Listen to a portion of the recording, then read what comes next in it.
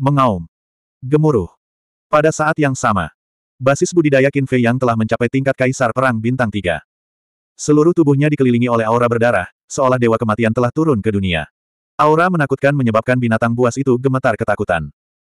Qin Fei Yang berkata, aura pembunuhnya terlalu kuat, saya tidak bisa mengendalikannya lagi. Saya harus mengeluarkan iblis batin. Baiklah. Yan Wei mengangguk. Qin Fei Yang menutup matanya dan kesadarannya memasuki dunia batinnya. Iblis batin telah lama dipersiapkan, karena dia tahu bahwa Qin Fei Yang tidak dapat mengendalikan taktik pembunuhan karakter. Qin Fei Yang berkata, tolong. Jangan khawatir. Iblis batin tertawa dan langsung menghilang dari dunia batinnya. Di luar, Qin Fei Yang tiba-tiba membuka matanya, dan dua cahaya berdarah yang mengejutkan keluar dari matanya. Saat ini, aura pembunuh di sekujur tubuhnya menjadi lebih kuat, dan matanya dipenuhi dengan kekejaman dan haus darah. Iblis batin menoleh untuk melihat Yan Wei. Yan Wei secara naluriah merasakan rasa takut di hatinya. Bocah tua, tidak ada lagi yang bisa kamu lakukan di sini. Pergi ke kastil dan bermainlah.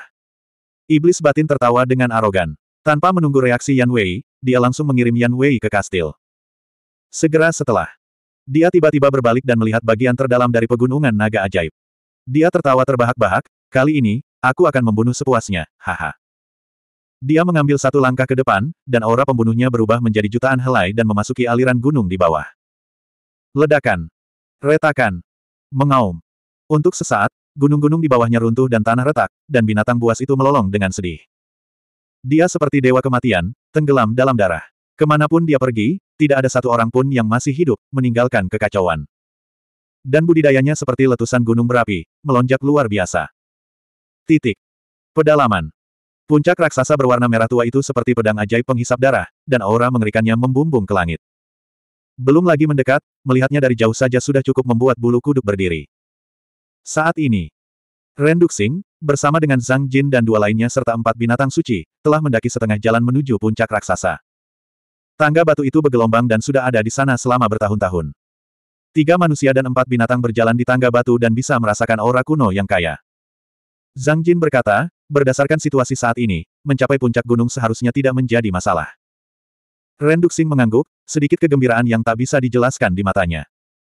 Melihat puncak gunung, dia juga dipenuhi kerinduan. Satu langkah. Dua langkah. Tiga langkah. Setelah sekitar setengah jam, puncak gunung akhirnya muncul di hadapan mereka. Keinginan di mata Ren Duxing semakin kuat. Dia mempercepat langkahnya. Melihat ini, Kelompok Zhang Jin dan empat binatang suci tidak bisa menahan diri untuk tidak bergegas maju. Sepuluh napas kemudian. Akhirnya, rombongan melangkah ke anak tangga terakhir dan berdiri di puncak gunung. Kekuatan misterius menjadi semakin menakutkan, dan penghalang yang dibentuk oleh dua artefak ilahi mulai bergetar. Puncak gunung itu sehalus cermin, seolah diukir oleh kapak raksasa. Di tengah puncak gunung, ada awan kabut hitam melayang di udara. Kabut hitam melonjak, dipenuhi aura iblis, seolah-olah ada binatang buas tak tertandingi yang bersembunyi di dalam, membuat orang merasakan krisis yang luar biasa. Saat mereka mencapai puncak gunung, Ren Duxing tidak melihat sekeliling tetapi langsung melihat ke arah kabut hitam. Dongking memandangi kabut hitam dan kemudian memandang Ren Duxing. Matanya berkedip sedikit, dan dia berkata dengan hormat, Tuhan, bawahan ini ingin menanyakan sesuatu, tapi saya tidak tahu apakah itu pantas. Bertanya. Kata Ren Duxing. Saat kita hendak mencapai puncak gunung, matamu menjadi berbeda dari sebelumnya. Bawahan ini ingin bertanya, apakah kamu sudah tahu apa yang ada di dalamnya? Kata Dong King. Ya. Ren Duxing mengangguk. Apa itu? Dong King terkejut. Ren Duxing menatap kabut hitam dan berkata-kata demi kata, Cakar Naga. Cakar Naga. Dong King dan Zhang Jin saling memandang, dan keterkejutan di mata mereka semakin kuat. Cakar Naga. Pada saat yang sama, Keempat binatang suci itu juga berpikir keras. Tiba-tiba, monyet suci itu sepertinya memikirkan sesuatu dan bertanya, Tuhan, mungkinkah itu cakar naga dari naga itu? Ya. Ren Duxing mengangguk. Terkesiap. Keempat binatang suci itu tiba-tiba tersentak, dan ketika mereka melihat kabut hitam lagi, mata mereka penuh ketakutan. Tapi di saat yang sama, ada rasa keserakahan yang kuat. Ikuti aku dari dekat. Mata Ren Duxing berbinar, dan dia berkata dengan suara rendah, lalu berjalan menuju kabut hitam. Keempat binatang suci mengikuti di belakang Renduxing, tampak sangat gugup. Melihat ini, Zhang Jin dan Dong King saling memandang dan tidak bisa tidak waspada. Seseorang harus mengetahuinya. Keempat binatang suci itu dulunya berada pada level Dewa Semu. Bahkan mereka sangat berhati-hati, dapat dilihat bahwa apa yang disebut cakar naga itu jelas bukan sesuatu yang menakutkan. Puncak gunung itu tidak besar, diameternya hanya sekitar 100 kaki. Radiusnya hanya 50 kaki. Bagi Renduxing dan yang lainnya, jarak 50 kaki hanyalah satu langkah. Namun saat ini, mereka sangat berhati-hati, seolah-olah mereka sedang berjalan di atas es tipis. 40 kaki. 30 kaki. 20 kaki. 10 kaki. Jarak 30 meter tentu merupakan jarak yang pendek bagi mereka. Bahkan bisa dikatakan mudah untuk mendapatkannya. Kegembiraan di wajah Ren Duxing juga tidak bisa disamarkan. 50 kaki. 30 kaki. 10 kaki. Setengah meter. Akhirnya. Mereka berjalan ke depan kabut hitam, dan hanya ada jarak setengah meter di antara mereka. Itu berada dalam jangkauan. Namun, batas yang melindungi mereka juga berguncang lebih keras. Tapi tidak ada tanda-tanda akan pecah. Ren Duxing melirik ke perbatasan, diam-diam merasa lega, mengangkat lengannya, dan mengulurkan tangan ke arah kabut hitam. Retakan. Tapi saat dia menyentuh kabut hitam, dan sebelum dia bisa melihat cakar naga di dalamnya dengan jelas, terdengar suara retakan dari batas. Suara retakan ini tidak nyaring. Tetapi ketika itu sampai ke telinga mereka, itu seperti sambaran petir, dan tubuh serta pikiran mereka gemetar. Dalam sekejap, mereka mengangkat kepala dan melihat ke arah sumber suara, lalu wajah mereka berubah. Mereka melihat retakan muncul di batas di depan mereka, dan di bawah erosi kabut hitam, retakan itu meluas dengan kecepatan yang terlihat dengan mata telanjang. Kekuatan misterius yang menakutkan itu seperti banjir yang merusak bendungan, melonjak masuk. Mereka segera merasakan vitalitas dalam tubuh mereka mulai mengalir deras. Tapi Renduxing sama sekali tidak punya niat untuk mundur. Dia melihat kabut hitam, dan matanya bersinar karena kegilaan. Melihat ini, monyet suci buru-buru berteriak, Tuan, jangan impulsif, cepat mundur, atau bahkan kesadaran ilahi Anda akan ditelan oleh cakar naga. Benar, tidak masalah jika kita mati, tapi kamu tidak bisa mati. Elang suci, singa suci, dan piton suci juga membuka mulut untuk membujuk. Kabar angin. Tubuh Ren Duxing bergetar, dan sedikit ketakutan muncul di matanya, tetapi dia juga sangat tidak mau. Dalam sekejap mata, retakan di perbatasan semakin besar. Kekuatan misterius yang mengalir ke dalam batas juga semakin banyak. Kristal ajaib dan kekuatan suci dari pedang pertempuran tidak dapat dihentikan sama sekali. Ayo pergi. Melihat situasinya tidak baik, keempat binatang suci itu dengan paksa menarik Ren Duxing dan mundur. Berangkat. Ren Duxing sangat marah. Yang mulia. Keempat binatang suci itu sangat cemas. Berangkat. Ren Duxing berteriak lagi. Keempat binatang suci itu saling memandang dan tanpa daya melepaskan Ren Duxing, diam-diam menunggu kematian. Mereka tahu betapa menakutkannya kekuatan misterius ini. Bahkan pada puncaknya, mereka tidak dapat menahannya, apalagi sekarang. Jika Renduxing bersikeras untuk tidak pergi, tidak diragukan lagi dia akan mati di sini. 1172. Tidak. Keempat binatang suci itu tiba-tiba menjadi pucat karena ketakutan. Namun, sudah terlambat bagi mereka untuk menghentikannya. Lengan Renduxing telah mencapai kabut hitam. Langsung. Wajah Renduxing berkerut dan dipenuhi rasa sakit. Kabut hitam itu seperti gangren yang menempel di tulang, dengan ganas mengebor lengannya. Namun dalam sekejap, Seluruh lengannya menjadi hitam pekat, daging dan darahnya berlubang, hanya menyisakan kulit dan tulang. Bahkan kulit dan tulangnya pun membusuk dan meleleh. Dan kabut hitam, di sepanjang lengannya, menyerbu ke dalam tubuhnya. Yang mulia. Keempat binatang suci itu meraung dengan cemas. Tuhan, di mana ada kehidupan, di situ ada harapan. Ayo pergi. Melihat adegan ini, Zhang Jin dan Dong Qing tidak bisa menahan rasa takut dan buru-buru berteriak. Tinggal satu langkah lagi. Tinggal satu langkah lagi. Brengsek. Ren Duxing meraung enggan, memotong lengannya, dan mundur ke tepi gunung bersama Zhang Jin, Dong Qing, dan empat binatang suci seperti kilat. Langsung. Dia mencoba yang terbaik untuk menghidupkan kembali kristal ajaib dan pedang pertempuran. Baru lima atau enam napas kemudian retakan itu diperbaiki. Dan pada saat ini, terlepas dari apakah itu Ren Duxing, empat binatang ilahi, atau Zhang Jin dan dua lainnya, mereka semua tampak sangat tua dan jompo. Jika kita terlambat. Tidak, lima napas. Jika kita terlambat lima napas, kita semua akan dikuburkan di sini. Zhang Jin bergumam. Ya. Dong Qing juga ketakutan. Saat ini, rambutnya memutih, tubuhnya bungkuk, dan vitalitas mudanya hilang. Dia seperti seorang wanita tua dengan satu kaki di dalam kubur. Keempat binatang suci itu juga menghela nafas panjang. Namun, Ren Duxing menatap kabut hitam, matanya penuh amarah. Itu jelas ada di depannya, dan dia bisa mengulurkan tangan dan menyentuhnya, tapi sekarang dia hanya bisa melihatnya. Ketidakberdayaan ini, keluhan ini, membuatnya gila.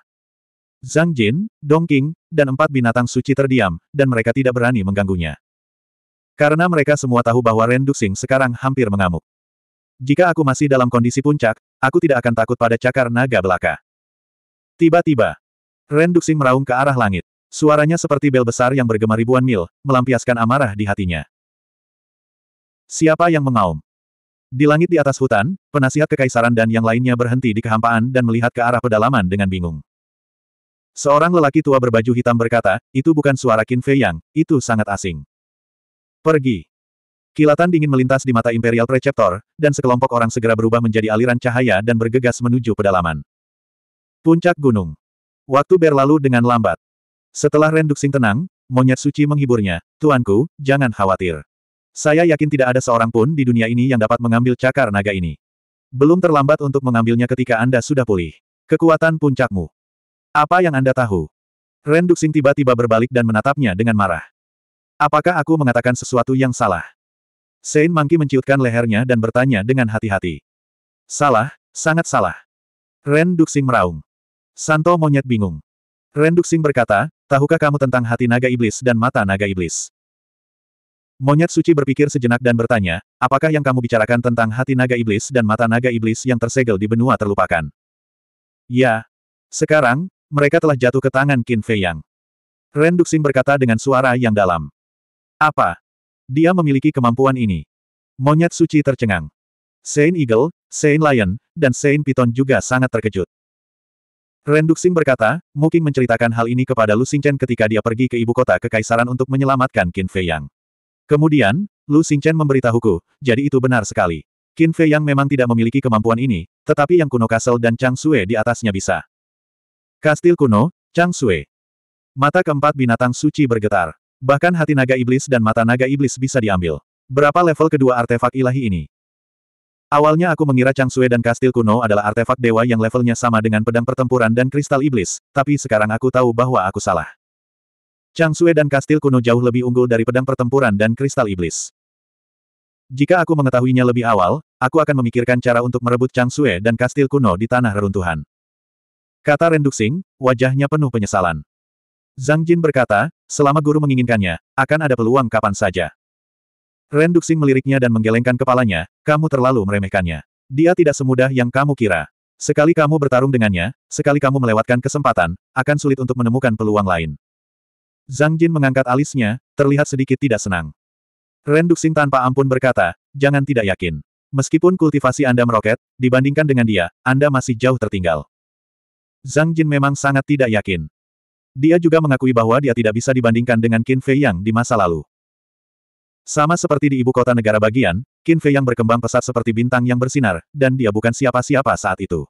Dia hanya bisa berdiri di kejauhan dan diam-diam melihat ke atas. Tapi sekarang, dia telah terlahir kembali, dan bukan lagi cacing yang rendah hati dan menyedihkan di masa lalu. Bahkan dalam hal kultivasi, selama bertahun-tahun, dia tidak hanya berhasil mengejar Qin Fei Yang, tetapi dia juga jauh melampaui Qin Fei Yang. Jadi, sekarang, menghadapi Qin Fei Yang, dia tidak lagi memiliki rasa rendah diri. Dia bahkan merasa bahwa dia lebih kuat dan lebih menonjol dari Qin Fei Yang, bukan dari orang lain. Dan sekarang, Ren Duxing telah digantikan oleh Mu Tianyang. Seberapa tajam wawasannya, secara alami, dia bisa mengetahui apa yang dipikirkan Zhang Jin secara sekilas. Ren Duxing berkata dengan ringan, jangan lupa siapa yang memberimu semua ini.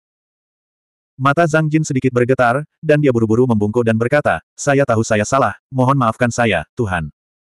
Saya mengatakan ini bukan untuk memarahi Anda, tetapi untuk memberitahu Anda bahwa seseorang harus memiliki kesadaran diri. Tentu saja, jika suatu hari, kamu benar-benar bisa menginjak-injak Qin Fei Yang, aku juga akan sangat bersyukur. Kata Ren Duxing. Zhang Jin sedikit terkejut, dan bertanya, jadi, Tuhan mengizinkan saya berurusan dengan Qin Fei Yang. Tentu saja. Meski aku sangat menghargainya, tapi orang yang tidak bisa aku manfaatkan semuanya adalah masalah besar, dan pada akhirnya akan tersingkir. Lagi pula, alasan utama aku mempertahankannya adalah karena aku masih membutuhkannya untuk membantuku melakukan sesuatu. Singkatnya, anggap saja dia sebagai batu loncatan. Adapun apakah kamu bisa menginjaknya, itu tergantung apakah kamu memiliki kemampuan. Kata Ren Duxing. Zhang Jin sangat gembira, dan dia membungkuk dan berkata, Jangan khawatir, Tuhan, saya akan melakukan yang terbaik untuk menginjak-injaknya di bawah kaki saya. Ren Duxing berkata sambil tersenyum, kebijaksanaan dan bakat Qin Fei yang terkenal di dunia. Anda memiliki kepercayaan diri yang besar, pelatihan saya tidak sia-sia. Zhang Jin berkata dengan hormat, bawahan ini pasti akan melakukan yang terbaik untuk membalas kebaikan guru dalam mengasuh saya. Ren Duxing mengangguk, dan menoleh untuk melihat kabut hitam lagi. Dongking memandang Ren Duxing, lalu ke kabut hitam, dan matanya penuh ketakutan. Dia berkata dengan hormat, Tuhan, di sini tidak aman, kita harus meninggalkan tempat ini dulu, lalu perlahan memikirkan cara.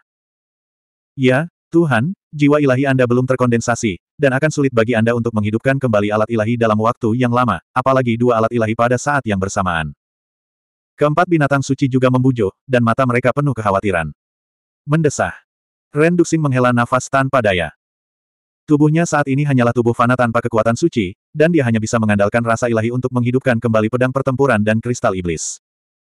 Seperti yang diketahui semua orang, menghidupkan kembali alat suci membutuhkan energi yang sangat besar, apalagi alat ilahi. Jika dia melanjutkan, rasa ilahinya akan habis oleh dua alat ilahi tersebut, dan jiwa ilahinya akan hancur. Jiwa ilahinya akan hancur, ini bukanlah akhir yang ingin dia lihat. 1173 Tablet batu itu tingginya ratusan kaki, berdiri di antara langit dan bumi seperti gunung yang menjulang tinggi. Setelah mundur dari pedalaman, Ren Duxing berdiri di atas tablet batu, memandangi puncak raksasa dengan mata berkedip-kedip. Mata Zhang Jin berkedip sedikit, dan dia menyarankan, Tuanku, mengapa kita tidak pergi ke Lu Xingchen dan mendapatkan benda luar angkasa? Dongking tiba-tiba berkata, ya, benda luar angkasa juga merupakan artefak ilahi. Bersama dengan kristal iblis dan pedang pertempuran, ada tiga artefak ilahi. Mungkin mereka dapat memblokir erosi kabut hitam. Ren Duxing menggelengkan kepalanya dan berkata, Meskipun benda luar angkasa adalah artefak ilahi, ia tidak memiliki banyak kekuatan. Dengan kata lain, Space Divine Item milik Lu Xingchen tidak memiliki banyak pertahanan terhadap erosi kabut hitam. Mendengar ini, Zhang Jin mengerutkan kening. Tiba-tiba, dia sepertinya memikirkan sesuatu dan bertanya, bagaimana dengan tulang ilahimu? Ren Duxing terdiam. Apa maksudmu? Zhang Jin dan Dong Qing saling berpandangan. Mereka tidak mengerti apa yang dipikirkan Ren Duxing. Monyet suci melirik Ren Duxing dan berkata dengan marah, ada beberapa hal yang tidak kamu mengerti. Jangan memberi saran. Hem. Keduanya memandangnya dengan bingung. Pemilik cakar naga ini lebih kuat dari tuanku ketika dia masih hidup. Meskipun dia hanya memiliki satu cakar naga sekarang, tuanku sekarang lemah.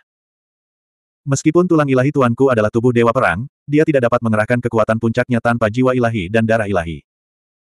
Jadi, meskipun indera ilahi tuanku memasuki tulang ilahi, dia tidak dapat menggoyahkan cakar naga ini. Kata monyet suci. Elang suci berkata dengan suara yang dalam, ini hanya hal kedua. Yang paling penting adalah jika tulang ilahi tuanku rusak, niscaya akan lebih sulit bagi tuanku untuk memulihkan kekuatan puncaknya di masa depan. Lebih kuat dari tuanku di puncaknya. Zhang Jin dan Dong Qing tercengang. Ya. Keempat binatang ilahi itu mengangguk. Zhang Jin berkata, monster macam apa itu? Raksasa. Monyet suci tertegun dan menghela nafas. Nama ini memang cocok untuk itu. Setelah itu, suasana menjadi sunyi. Tiga binatang ilahi lainnya juga terdiam. Melihat ini, Zhang dan Jin saling memandang, mata mereka dipenuhi rasa tidak percaya. Tapi melihat empat binatang suci besar menolak mengatakan apa pun, mereka tidak berani untuk terus bertanya. Waktu perlahan berlalu. Setelah jangka waktu yang tidak diketahui, Renduxing mengepalkan tinjunya dan berkata dengan suara rendah, saya harus mendapatkan cakar naga hari ini. Saya akan segera pergi ke kota kekaisaran untuk mencari Lu Xingchen dan mengambil tulang ilahi saya. Tuanku, ini bukan masalah kecil. Anda harus berpikir dua kali. Benar, selain itu, Lu Xingchen saat ini berada di ibu kota kekaisaran, dan altar teleportasi terletak di gunung di belakang istana. Dengan Pak Tuakin yang menjaganya, kita tidak bisa masuk. Empat binatang suci agung terkejut, dan mereka buru-buru menjawab. Apakah kamu tidak tahu apa yang harus dilakukan? Ren Duxing berteriak. Keempat binatang suci mengecilkan leher mereka dan menundukkan kepala dalam diam. Jika hanya ada satu penatuakin di ibu kota kekaisaran, mereka akan berani mengambil risiko. Namun, ada dewa palsu lainnya di ibu kota kekaisaran. Dengan kekuatan mereka saat ini, memasuki ibu kota kekaisaran berarti mendekati kematian. Aku akan pergi.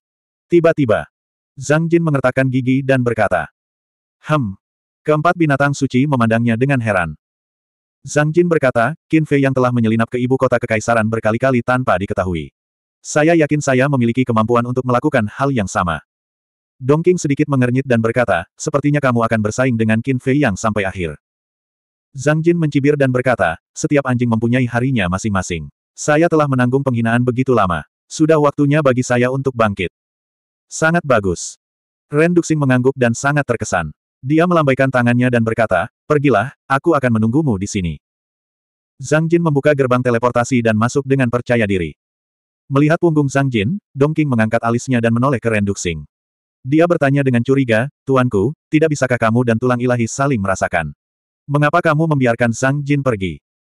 Ren Duxing berkata, tulang ilahi dan saya dapat merasakan satu sama lain, tetapi itu hanya terbatas pada sembilan provinsi. Sekarang tulang ilahi berada di ibu kota kekaisaran, saya tidak dapat merasakan lokasinya, apalagi menghubunginya. Dong King menganggukkan kepalanya mengerti. Monyet suci berkata, Tuanku, saya masih harus menasihati Anda untuk mempertimbangkan kembali. Ren Duxing melambaikan tangannya dan berkata, jangan katakan apa-apa lagi. Jika aku tidak mengambil cakar naga kali ini, cakar itu pasti akan jatuh ke tangan Qin Fei yang lagi. Monyet suci bingung. Dia tidak tahu bahwa kita ada di sini, dan dia tidak tahu bahwa cakar naga itu ada di sini. Bagaimana cakar itu bisa jatuh ke tangannya? Ren Duxing menyingkirkan kristal iblis dan kemudian mengambil pedang pertempuran. Dia berkata, karena aku memberitahunya bahwa pedang perang ini ditemukan di pegunungan naga ajaib. Dengan kepribadiannya yang mencurigakan, dia pasti akan datang ke pegunungan naga ajaib untuk memeriksanya cepat atau lambat. Monyet suci mengangkat alisnya. Bukankah Tuhannya terlalu paranoid? Suara mendesing. Saat ini, suara sesuatu yang menembus udara terdengar. Seseorang datang. Tidak mungkin Qin Fei Yang, kan? Monyet suci berbalik, matanya penuh keterkejutan.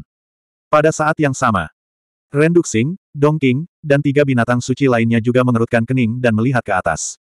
Mereka melihat seberkas cahaya melintas di udara di kejauhan. Pemimpinnya adalah seorang lelaki tua. Dia memiliki rambut putih dan janggut putih, dan dia tampak seperti makhluk abadi. Tetapi pada saat ini, mata lelaki tua itu sangat suram, memancarkan rasa dingin yang menusuk tulang. Di belakang lelaki tua itu ada sekelompok lelaki berpakaian hitam. Mereka semua serius dan mata mereka setajam pisau. Itu dia. Murid Dongking tiba-tiba menyusut saat dia melihat lelaki tua itu. Siapa ini? Monyet suci bertanya dengan suara rendah. Pengajar negara. Kata Zhang Jin. Benar sekali, orang yang datang adalah pengajar negara dan penegak hukum di pelataran dalam. Apa? Ekspresi monyet suci berubah, dan matanya menjadi sangat serius. Elang suci, singa suci, dan piton suci juga menjadi tegang dan menjadi berhati-hati. Kemudian mereka melihat ke arah Ren Duxing. Dia menatap pengajar negara, cahaya dingin muncul di matanya. Tapi pada akhirnya, cahaya dingin di matanya menghilang, dan dia menyingkirkan pedang pertempurannya. Ekspresinya sangat tenang, diam-diam menunggu pengajar negara dan yang lainnya tiba. Karena sekarang, sudah terlambat bagi mereka untuk bersembunyi. Pengajar negara telah menemukannya. Tuhan, ada orang di depan. Pada saat yang sama, seorang pria berpakaian hitam menunjuk ke arah Renduxing dan yang lainnya dan berbisik kepada pengajar negara. Aku melihat mereka.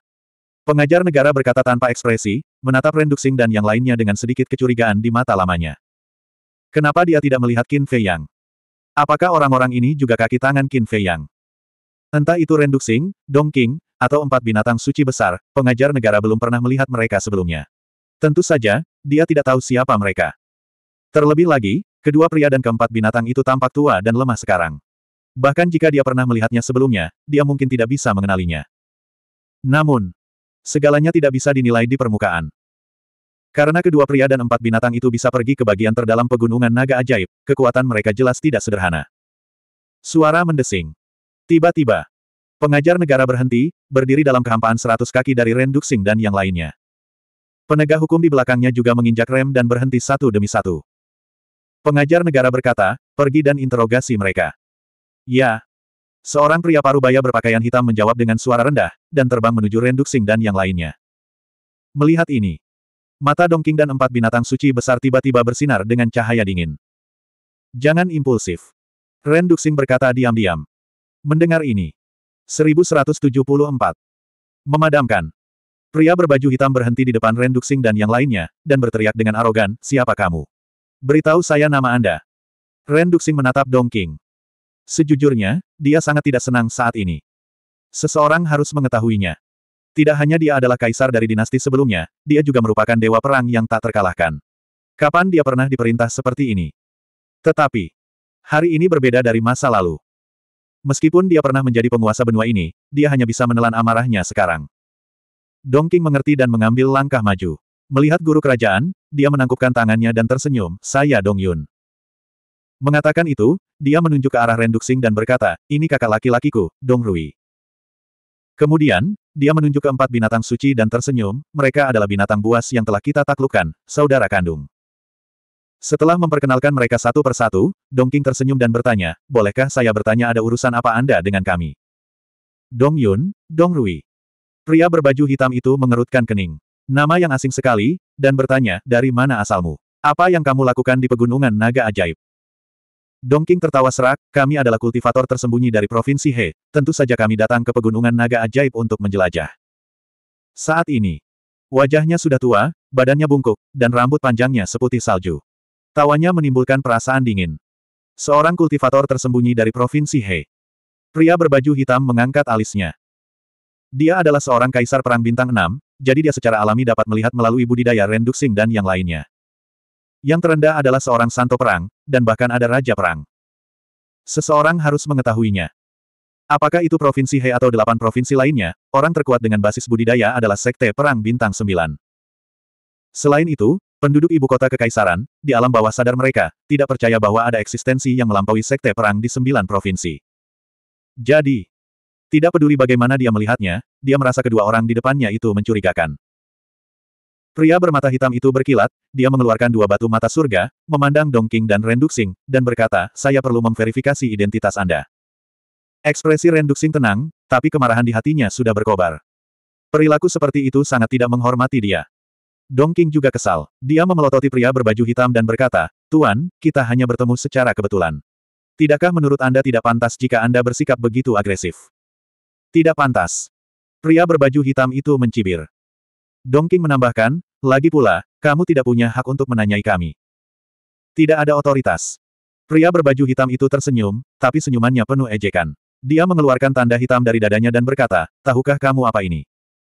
Di bagian depan token itu ada pedang hitam kecil. Meski hanya sebuah ikon, namun ketajamannya yang menusuk tulang masih bisa dirasakan. Di sisi lain, ada tengkorak berwarna hitam. Itu tampak seperti tengkorak asli dan sangat menakutkan. Dongking melirik token itu dan menggelengkan kepalanya, aku belum pernah melihatnya, jadi aku tidak tahu. Bodoh dan tidak berpengalaman. Biar ku beritahu, ini adalah tanda identitas aula dalam aula penegakan hukum. Pria berbaju hitam itu mencibir. Aula dalam. Dongking ragu. Dia tahu tentang balai penegakan hukum, tapi dia belum pernah mendengar tentang balai dalam. Apakah kamu tahu di mana kuil itu berada? Pria berbaju hitam itu bertanya lagi. Dongking menggelengkan kepalanya. Pria berbaju hitam berkata, kuil itu berada di kota kekaisaran ibu kota kekaisaran, dan dikelola secara pribadi oleh pengajar kekaisaran saat ini. Ibu kota kekaisaran. Wajah Dongking sangat terkejut. Tentu saja itu palsu. Pria berbaju hitam berkata dengan bangga, Aula Penegakan Hukum adalah otoritas tertinggi di ibu kota kekaisaran, dan kami memiliki kekuatan untuk membunuh semua makhluk hidup di kekaisaran Kin besar. Sangat kuat. Dong King tercengang. Pria berbaju hitam tersenyum bangga, menunjuk ke arah Imperial Preceptor, dan bertanya, apakah kamu tahu siapa dia? Dong King menggelengkan kepalanya lagi. Pria berbaju hitam berkata, dia adalah pengajar kekaisaran saat ini, penguasa kaisar saat ini, dan dewa yang tak terkalahkan. Apa? Tubuh dan pikiran Dongking bergetar, dan wajahnya penuh ketakutan. Namun di dalam hatinya, dia mencibir. Dia hanyalah dewa palsu, tapi dia bersikeras bahwa dia adalah dewa. Sungguh tidak tahu malu. Pria berbaju hitam itu menyimpan token itu dan berteriak, sekarang katakan padaku, apakah aku punya wewenang atau tidak? Mata Dongking sedikit bergetar, dan dia buru-buru berkata, maaf, aku baru saja buta, maafkan aku. Setelah mengatakan itu, dia melangkah maju dan dengan hormat mengambil batu mata surga. Pria berbaju hitam itu mencibir. Semua orang di ibu kota kekaisaran memandang rendah orang-orang di sembilan prefektur dari lubuk hati mereka yang paling dalam. Singkatnya, di mata mereka, penduduk sembilan prefektur adalah orang-orang rendahan. Dongking mengambil batu mata surga dan berjalan ke arah Renduxing, dan berkata, Guru, saya minta maaf. Renduxing tersenyum tipis dan mengambil salah satu batu mata surga. Dongking juga menoleh untuk melihat pria berbaju hitam, memegang batu mata surga lainnya erat-erat di tangannya. Kini setelah mereka menunjukkan wajah aslinya, tentu saja mereka tidak takut.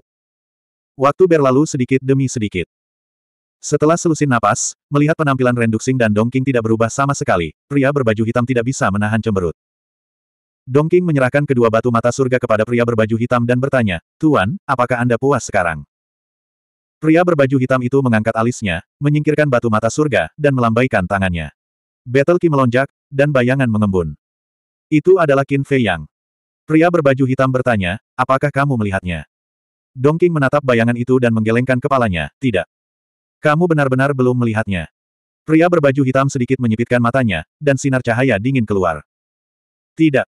Dongking berkata tanpa tersipu atau berhenti berdetak. Pria berbaju hitam memandangnya dalam-dalam, kembali ke depan pengajar negara, dan membungkuk, Guru, saya sudah bertanya dengan jelas. Mereka adalah kultivator terpencil di Provinsi He, dan datang ke Pegunungan Naga Ajaib untuk penjelajahan. Mereka belum melihat Qin Fei Yang. Pembudidaya terpencil. Mata pengajar negara berkedip-kedip. Pria berbaju hitam itu berkata lagi, saya juga telah mengamati mereka dengan cermat. Ketika mereka menjawab pertanyaan itu, saya tidak menemukan sedikit pun kebohongan. Pengajar negara melirik Dongking dan Renduxing, lalu melihat ke pedalaman, matanya penuh kecurigaan. Bagian luarnya penuh vitalitas, tetapi tidak ada sehelai rumput pun yang tumbuh di dalamnya. Agak aneh. Tiba-tiba, dia memperhatikan dua garis darah di loh batu. Daerah pedalaman pegunungan naga ajaib, penyusup, mati. Lihat warna dan jejak kata-kata ini, pasti sudah tua.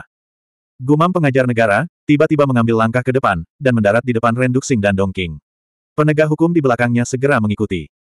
Pengajar negara menunjuk ke pedalaman, memandang Renduxing dan Dongking, dan bertanya, apa isinya? Mata Dongking berbinar, dan dia menggelengkan kepalanya, kami belum punya waktu untuk masuk, jadi kami tidak tahu apa yang ada di dalamnya. Pengajar negara berkata, kalau begitu masuklah dan lihatlah.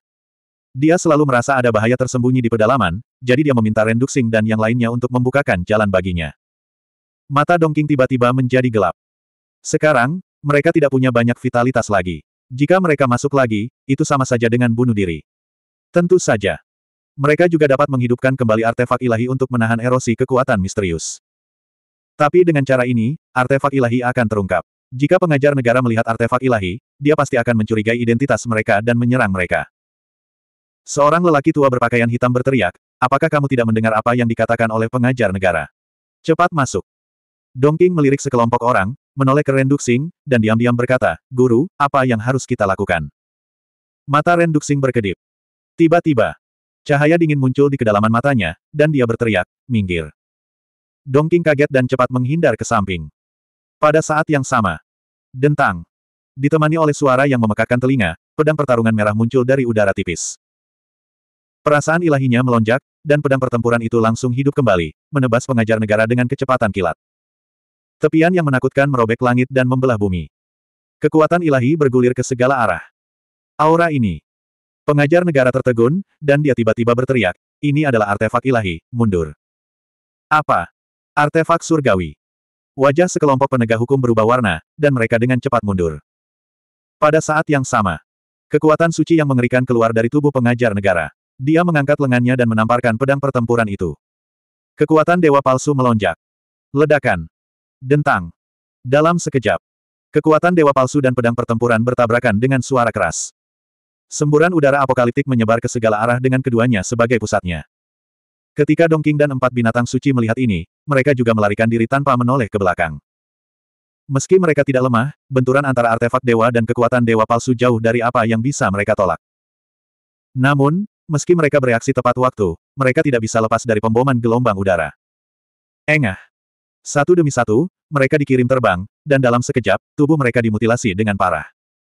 Termasuk para penegak hukum. Mereka juga mengeluarkan darah, dan wajah mereka pucat. Untungnya, mereka telah melarikan diri terlebih dahulu dan hanya terluka parah. Kalau tidak, pukulan ini saja sudah cukup untuk mengubah semuanya menjadi abu. Mengerikan sekali. Dongking dan penegak hukum yang melarikan diri jauh memandang Renduxing dan pengajar negara di langit di atas loh batu. Mata mereka penuh ketakutan. Mereka sama sekali tidak sebanding dengan pembangkit tenaga listrik tingkat puncak. Di atas loh batu, pengajar negara dan Renduxing berdiri saling berhadapan. Ujung pedang pertempuran bisa menghancurkan dunia. Kekuatan dewa palsu dicurahkan terus-menerus. Untuk sesaat, keadaan menemui jalan buntu. Meskipun pengajar negara hanyalah dewa palsu, dia sekarang berada dalam kondisi puncaknya. Adapun Renduxing, meskipun dia memiliki artefak ilahi, dia tetaplah manusia fana. Dia bahkan tidak bisa mengerahkan sepersepuluh dari kekuatannya pada kondisi puncaknya. Yang paling penting adalah dia telah mengkonsumsi banyak Divine Sense untuk menghidupkan kembali pedang pertempuran dan kristal iblis pada saat yang sama di pedalaman. Oleh karena itu, dia tidak dapat sepenuhnya mengaktifkan kekuatan pedang pertempuran sekarang. Namun, kebuntuan ini tidak berlangsung lama. Suara mendesing. Dia melambaikan tangannya, dan gumpalan Divine Sense lainnya terbang keluar dari atas kepalanya dan masuk ke dalam pedang pertempuran merah. Dentang. Pedang pertempuran tiba-tiba bersinar terang, dan ribuan pedang ki meledak, dan auranya melonjak dalam sekejap. Ledakan. Langsung. Pedang pertempuran menghancurkan kekuatan dewa palsu dengan mudah, dan dengan ribuan pedang ki, pedang itu menebas ke arah kepala pengajar negara. Engah. Pengajar negara memuntahkan darah, dan wajahnya pucat. Merasakan ketajaman yang menghancurkan dunia, tubuh dan pikirannya menegang, dan dia mengambil langkah maju tanpa ragu-ragu. Pedang pertempuran melewati bahunya. Ledakan. Pedang ki merobek langit, dan parit besar tanpa dasar terpotong di tanah di bawahnya oleh pedang. Debu yang mengepul menutupi langit dan matahari. Meskipun pengajar negara lolos dari kematian, dia masih terluka oleh pedang ki. Separuh tubuhnya langsung dimutilasi, dan darah dewanya berceceran. Kemudian, seperti meteorit, dia jatuh ke aliran gunung tidak jauh dari sana. Ledakan. 1175. Guru kerajaan terkubur dalam debu. Wajah Ren Duxing menjadi semakin pucat. Jelas sekali. Konfrontasi kali ini juga menyebabkan vitalitasnya rusak parah. Dengan lambaian tangannya, pedang pertempuran kembali ke tangannya, mengeluarkan suara yang memekakkan telinga. Aku tidak ingin bertengkar denganmu sekarang, tapi kamu terlalu usil dan memaksaku membunuhmu. Niat membunuh muncul di matanya saat dia mendarat di langit di atas gunung dan mengirimkan secercah kesadaran ilahi ke dalam pedang pertempuran. Dentang. Pedang pertempuran segera pulih dan ujung tajamnya merobek kehampaan dan bumi, mengejutkan dunia. Guru Kerajaan. Dong Rui, jangan berani-berani menyentuh guru istana. Izinkan saya memberitahu Anda, jika terjadi sesuatu pada guru kekaisaran, Yang Mulia tidak akan melepaskan Anda dan tidak akan ada tempat bagi Anda di kekaisaran Qin besar. Melihat ini, Para penegak di kejauhan tidak bisa menahan diri untuk tidak berteriak dengan marah. Tempat. Ren Duxing mengangkat sudut mulutnya dan bergumam, benua ini awalnya milikku. Dentang. Dia tiba-tiba mengangkat lengannya dan pedang pertempuran di tangannya memancarkan cahaya ilahi yang menyilaukan. Lalu, dia menebas reruntuhan di bawah. Ledakan. Namun, pada saat ini, reruntuhan di bawah meledak dan guru kerajaan bergegas ke langit. Tubuhnya berlumuran darah dan mengeluarkan aura pembunuh yang mengejutkan. Kamu ingin membunuhku. Kamu tidak memiliki kemampuan. Dia menatap Ren Duxing dan tersenyum dingin. Jari telunjuknya menunjuk ke udara dan kekuatan dewa palsu melonjak. Bulan purnama yang gelap gulita muncul perlahan, memancarkan cahaya hitam yang menyilaukan. Kekuatan sucinya sangat mengejutkan. Seni ilahi. Murid Ren Duxing mengerut. Sebagai mantan dewa perang, dia mengetahui kekuatan seni dewa lebih baik dari siapa pun. Beberapa seni dewa yang mematikan tidak kalah dengan senjata dewa. Dan seni surgawi yang digunakan oleh pengajar istana hampir sebanding dengan pedang pertempuran di tangannya. Aku tidak peduli siapa kamu, tapi selama kamu menyinggung perasaanku, kamu harus membayar mahal. Membunuh. Pengajar kekaisaran melolong panjang, dan bulan purnama yang melayang di atas kepalanya langsung memancarkan aura pembunuh yang mengerikan, yang menyerang Renduxing. Saat ini, kehampaan hancur dan langit bergetar. Bumi runtuh dengan gila-gilaan. Adegan hari kiamat tidak lebih dari ini. Dongking dan penegak hukum menyaksikan adegan ini dari jauh, dan hati mereka kacau. Menghancurkan kehampaan, metode yang sangat menakutkan, hanya para dewa yang bisa melakukannya. Ren Duxing memandang bulan purnama dengan ekspresi serius. Secara logika, dalam kondisinya saat ini, dia seharusnya tidak bertarung dengan guru kekaisaran, terutama dalam pertarungan yang panjang dan sengit. Tetapi, anak panah itu sudah tertancap di tali busur, dan harus dilepaskan. Imperial Preceptor sudah marah, jadi dia tidak bisa menghindarinya. Dentang. Lonceng pedang bergema di udara. Membunuh. Dia mencengkeram pedangnya rat-rat dengan kedua tangannya, dan dengan suara gemuruh, dia menebas di udara. Bayangan pedang merah merobek udara. Panjangnya beberapa ribu kaki, dan ketajamannya menyapu langit saat menyapu menuju bulan purnama. Gemuruh. Dentang. Dalam sekejap. Keduanya bertabrakan dan meledak tinggi di langit seperti kembang api, menyilaukan dan mempesona. Mundur lagi. Sage meraung. Sebagai mantan dewa palsu, ia tahu betapa mengerikannya pertempuran antara Ren Duxing dan Master Kekaisaran. Suara mendesing. Mendengar auman monyet suci, Dongking dan tiga binatang suci lainnya segera berbalik dan melarikan diri tanpa menoleh ke belakang. Ketika penegak melihat Dongking dan empat binatang suci melarikan diri, mereka juga melarikan diri untuk hidup mereka. Ledakan. Retakan. Keputusan mereka bijaksana. Alasannya adalah karena tepat setelah mereka melarikan diri, aura yang mampu menghancurkan dunia melonjak. Gunung-gunung dan sungai-sungai di bawahnya runtuh satu demi satu. Binatang-binatang itu mati satu demi satu. Darah membasahi bumi. Dalam sekejap mata, tanah dalam jarak seratus mil rata dengan tanah, dan tidak ada satu helai rumput pun yang tersisa. Tapi itu tidak berhenti. Gelombang udara yang merusak itu seperti wabah yang tak tertahankan, menyebar semakin jauh. Dongking dan yang lainnya menggunakan seluruh kekuatan mereka untuk melawan. Namun, pada akhirnya, mereka tetap tersapu gelombang udara dan terlempar. Ada yang jatuh ke tanah, menciptakan lubang besar, dan ada pula yang menabrak gunung raksasa. Tubuh mereka pecah, dan darah berjatuhan. Ini terlalu menakutkan. Para penegas sangat terkejut.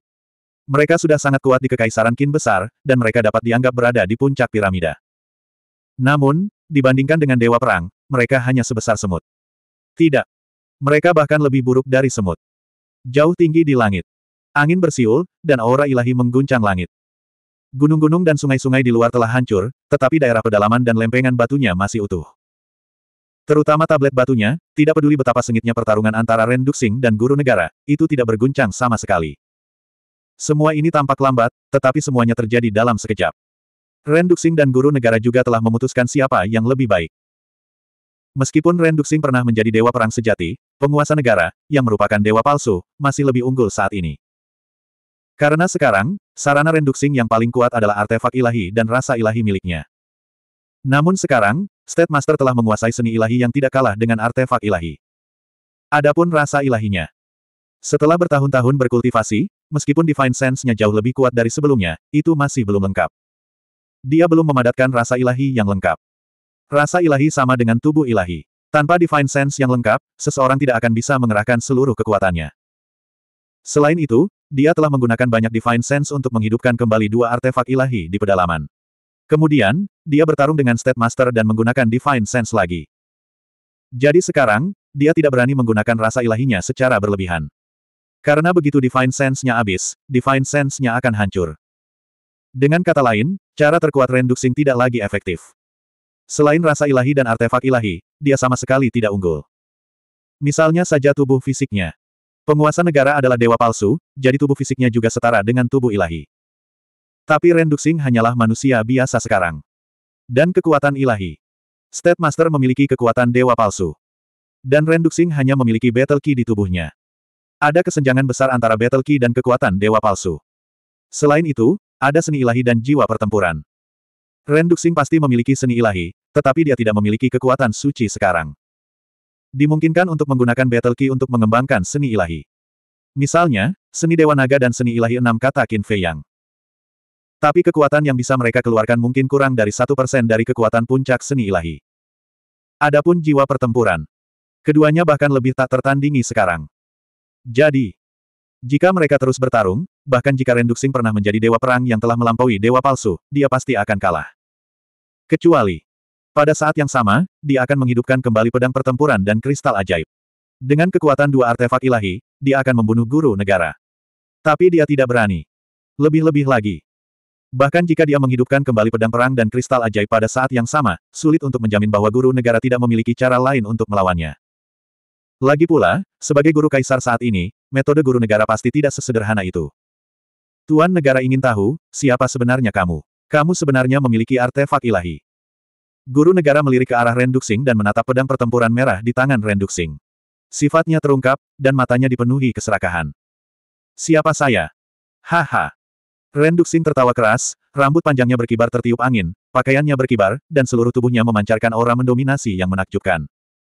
Sang guru negara mengangkat alisnya. Renduxing berhenti tertawa, menatap guru negara dengan senyum arogan, dan berkata, bukankah Qin Fei yang memberitahumu? Qin Fei Yang. Ekspresi State Master membeku.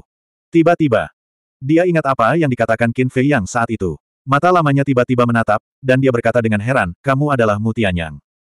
Ya, ini Kaisar. Tubuh Ren Duxing bergetar, dan kekuatan Kaisar yang besar, seperti semburan binatang buas, melonjak ke segala arah. Mata sang guru bergetar. Awalnya, dia mengira kembalinya Mutianyang hanyalah kebohongan yang dibuat oleh Qin Fei Yang untuk mengalihkan perhatian semua orang. Tapi dia tidak menyangka kaisar sebelumnya akan benar-benar kembali. Mu Tianyang. Di kejauhan. Merasakan kekuatan kaisar yang menakutkan, kelompok penegak hukum langsung menjadi kacau balau. Faktanya, sangat sedikit orang di kekaisaran Qin besar yang mengetahui nama Mu Tianyang. Pertama, Mu Tianyang adalah kaisar sebelumnya, dan kaisar saat ini pasti tidak akan membiarkan nama Mu Tianyang menyebar ke dunia. Kedua, di masa lalu, Ketika Kekaisaran Tianyang masih ada, semua orang pada dasarnya menyebut Mutianyang sebagai Dewa Perang Tianyang, atau Kaisar. Lambat laun, nama Mutianyang pun dilupakan dunia. Namun sebagai anggota Balai Penegakan Hukum, dan sebagai penegak hukum internal yang menyimpan rahasia utama ibu kota kekaisaran, dia secara alami tahu siapa Mutianyang. Dia adalah ahli tertinggi yang bisa bertarung dengan kaisar pertama. Bagaimana mungkin mereka tidak panik? Ren Duxing melirik ke arah penegak hukum, dan memandang ke arah guru negara sambil mencibir, sepertinya nama kaisar ini belum Anda lupakan. Saya tidak percaya. Sang guru negara menggelengkan kepalanya. Dia masih teguh dalam pikirannya. Mutian yang sudah mati, dan tidak mungkin dia kembali. Kamu tidak percaya. Haha. Kalau begitu kaisar ini ingin bertanya padamu, di dunia sekarang ini, selain kaisar ini, siapa yang memiliki kemampuan untuk mengendalikan dua artefak ilahi? Ren Duxing tertawa liar, Dua artefak ilahi. Guru negara merasa bingung. Ledakan. Ren Duxing melambaikan tangannya, dan kristal iblis muncul. Segera, badai hitam menderu, dan kekuatan iblis melonjak. Ini. Mata State Master membelalak saat dia menatap kristal iblis. Tidakkah itu terlihat familiar? Saya yakin seharusnya ada catatan rincin tentang kristal iblis di buku sejarah kerajaan Qin besar Anda. Ren Duxing bercanda. Itu sebenarnya adalah kristal iblis. State Master bergumam pada dirinya sendiri, wajah lamanya penuh rasa tidak percaya. Di ruang kerja Kaisar, terdapat sebuah buku sejarah yang sangat kuno yang dianggap sebagai harta karun oleh Kaisar sebelumnya dan diturunkan dari generasi ke generasi. Selain Kaisar sebelumnya, hanya dia yang pernah melihatnya di Kekaisaran Qin besar. Memang ada catatan kristal iblis di dalamnya. Menurut catatan, kristal iblis adalah artefak ilahi yang dapat mengendalikan badai dan gravitasi. Itu adalah barang Kaisar pertama, tapi bagaimana barang itu bisa jatuh ke tangan Mutianyang? Wow, wow. Gemuruh. Saat guru negara menjadi sangat tidak percaya dan tidak dapat melepaskan diri, Ren Duxing dengan tegas mengaktifkan kristal iblis. Dalam sekejap, gaya gravitasi yang mengerikan melonjak ke segala arah dengan kekuatan longsoran salju. Sangkar besar terbentuk dalam sekejap, menjebak guru kerajaan di dalamnya. Di dalam kandang, badai hitam menderu, memancarkan kekuatan destruktif. Tuhan, jangan. Keempat binatang suci itu meraung dengan cemas di kejauhan. Tapi Ren Duxing menutup telinga. Secerca perasaan ilahi muncul. Dentang. Pedang pertempuran merah terbangun lagi, berdengung dan bergetar di udara di atas kepalanya, dan pedang Ki tidak ada habisnya. State Master gemetar dan akhirnya sadar kembali. Melihat kristal iblis dan pedang pertempuran, wajahnya menjadi sangat berat. 1176. Mati. Ren Duxing meraung, rambutnya berdiri tegak, dan niat membunuhnya sangat menakjubkan. Pedang pertempuran dan kristal iblis berdentang. Gelombang pedang ki dan badai hitam menderu di langit dan menyerang guru kerajaan. Menghadapi dua artefak ilahi, pengajar istana tidak bisa menahan rasa dingin di sekujur tubuhnya. Ledakan. Dia menggunakan seni dewa lagi, dan bulan purnama terbit perlahan, memancarkan cahaya dewa yang menyilaukan.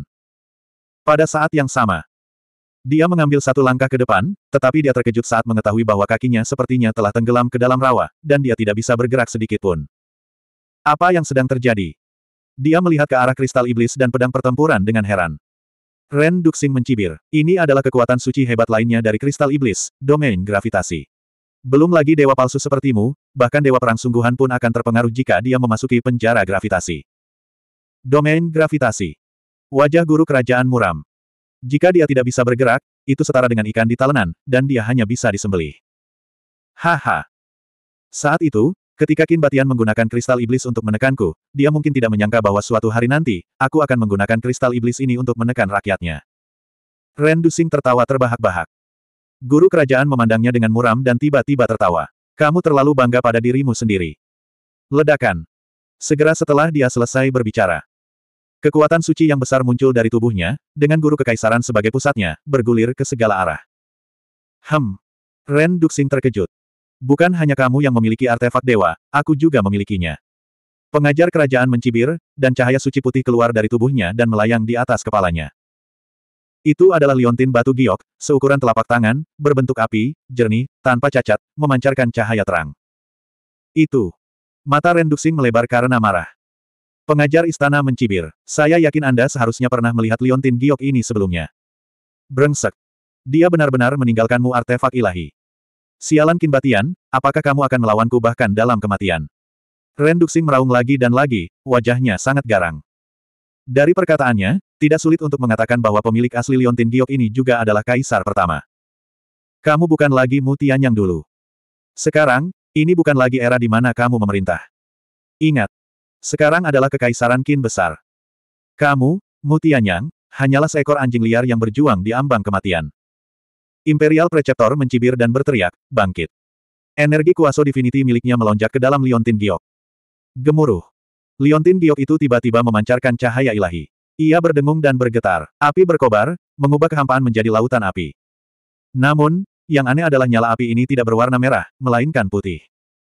Terlebih lagi, dia tidak bisa merasakan sedikit pun panas dari api. Sebaliknya, dia merasakan bahaya yang besar. Dalam sekejap mata, pedang pertempuran dan kristal ajaib telah tiba. Yang satu dipenuhi dengan kekuatan ilahi. Kekuatan satu iblis bisa mengguncang dunia. Imperial Preceptor menyipitkan matanya dan melambaikan tangannya. Bulan purnama seni dewa dan lautan api dari Liontin Giok meraung, mengguncang langit. Empat benda dewa bertemu di langit. Pada saat ini, langit dan bumi menjadi sunyi senyap. Mundur lagi. Monyet itu meraung dan lari ke kejauhan tanpa menoleh ke belakang.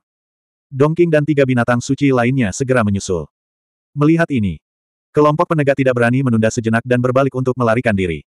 Gemuruh. Retakan. Saat mereka melarikan diri, serangkaian suara keras tiba-tiba terdengar, memecah kesunyian dan mengguncang bumi. Keempat benda dewa itu bertabrakan dengan ganas di langit. Gelombang aura destruktif melonjak ke segala arah. Ke mana pun ia pergi, gunung-gunung runtuh dan bumi retak. Seolah-olah hari kiamat telah tiba. Mengerikan sekali. Meskipun Renduxing dan Imperial Preceptor tidak bertarung langsung, keempat benda suci akan mengalami kerusakan serius setiap kali bertabrakan. Engah. Darah mengucur dari mulutnya dan tubuhnya bergetar hebat. Namun, sebagai perbandingan, tubuh Fana Renduxing bahkan lebih buruk. Retakan sudah muncul di tubuhnya seperti jaring laba-laba dan darahnya mengalir seperti air terjun. Jika kamu masih memiliki tubuh dewa, aku pasti bukan lawanmu. Tapi sekarang, kamu hanyalah tubuh Fana. Bagaimana kamu bisa bertarung denganku? Pengajar kekaisaran mencibir. Faktanya, dia juga tidak berada dalam situasi yang baik. Karena sebagai dewa palsu, kekuatan ketuhanan dan akal ketuhanannya belum mencapai level dewa perang. Oleh karena itu, masih agak sulit baginya untuk menghidupkan kembali benda suci tersebut. Sama seperti sebelumnya. Kebangkitan Iglau atas gerbang ruang waktu yang sebenarnya telah menyebabkan kerusakan besar pada vitalitasnya. Dia perlu istirahat selama beberapa hari untuk pulih. Semut akan selalu menjadi semut. Kamu tidak akan pernah tahu betapa kuatnya dewa perang yang sebenarnya. Tubuh Fana masih menantang surga. Ren Duxing tertawa dengan arogan. Gumpalan perasaan ilahi muncul dan menyatu ke dalam tubuhnya. Retakan di sekujur tubuhnya segera mulai sembuh. Murid Imperial Preceptor menyusut. Namun kemudian, matanya berbinar dan dia berkata dengan tenang, jika saya tidak salah, kamu seharusnya tidak memiliki jiwa dewa yang utuh sekarang. Kamu hanyalah jiwa yang tersisa. Mata Renduxing menjadi gelap. Dia tidak berharap pengajar kekaisaran bisa mengetahuinya. Pengajar kekaisaran mencibir, dalam keadaan jiwa yang tersisa, kamu masih mengonsumsi indera ketuhananmu seperti ini. Apakah kamu tidak takut indera ketuhananmu akan hancur? Renduxing berkata, jangan khawatir. Sebelum kesadaran ilahi saya habis, saya pasti akan mengirim Anda ke neraka.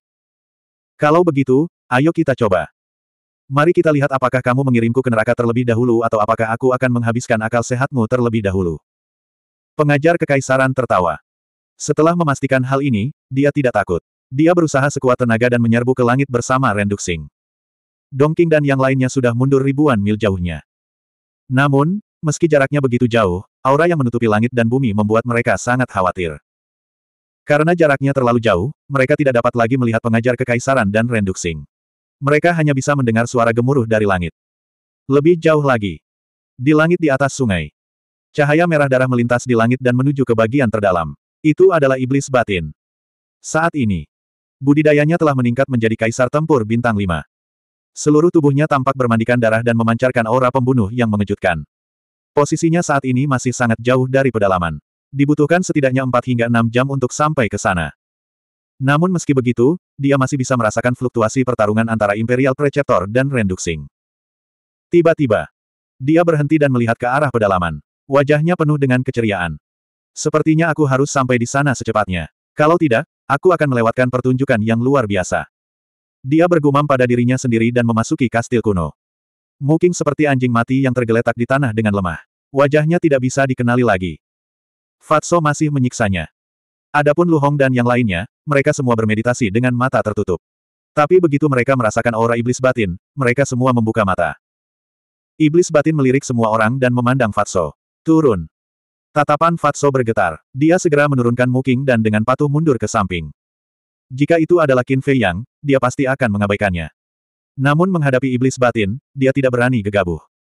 Iblis batin berjalan di depan Muking dan menatap Muking. Dia menyeringai dan berkata, izinkan saya memberitahu Anda kabar baik. Ren Duxing dan pengajar kekaisaran sedang bertarung. Ekspresi Muking sedikit berubah. Dia mulai khawatir. Iblis batin bertanya, apakah kamu ingin menyelamatkannya? Haha. Tuanku sangat kuat. Bagaimana bisa seorang Imperial Preceptor mengguncangnya? Mu King tertawa keras. Dia tidak menyembunyikan sindirannya. Ya. Tuanmu memang sangat kuat. Tapi jangan lupa, dia sekarang dalam kondisi lemah. Iblis batin tertawa mengejek. Mendengar ini, tawa Mu King tiba-tiba berakhir. Adapun pengajar kekaisaran, meskipun dia hanya dewa semu, dia berada di puncaknya. Dan fluktuasi pertempuran mereka telah terjadi sejak lama. Ini cukup untuk menunjukkan bahwa Imperial Preceptor memiliki kemampuan untuk bertarung dengan Tuhanmu. Kata Iblis Batin. Wajah Muking menjadi lebih suram. Iblis Batin berkata, jika kamu ingin menyelamatkannya, segera gunakan mata langitmu untuk menghitung lokasi dan koordinatnya. Maukah kamu berbaik hati? Muking mencibir. Tentu saja aku tidak begitu baik. Aku hanya akan menonton pertunjukannya. Bagaimana saya bisa melewatkan pertunjukan yang begitu indah? Tentu saja, jika suasana hatiku sedang baik, aku mungkin bisa membantu tuanmu. Iblis batin tertawa. Membantu. Apakah kamu memiliki kemampuan? Mu King mencibir. Itu belum tentu benar. Iblis batinia itu mencibir. Wajah Mu King muram. Pada akhirnya, dia mengertakkan gigi dan berkata, beri aku ramuan laut spiritual. Fatso berkata, kami memintamu menghitung koordinatnya. Untuk apa kamu menginginkan ramuan laut spiritual? Muking berkata dengan marah, kultivasi saya hancur total. Bagaimana saya bisa membuka mata langit saya? Fatso masih ingin mengatakan sesuatu. Iblis batin melambaikan tangannya dan berkata, tidak masalah. Berikan dia ramuan laut spiritual. Setelah menghitung koordinat Renduxing dan pengajar kekaisaran, kamu dapat menghancurkan budidayanya. Kamu bajingan. Mu King meraung. Tidak.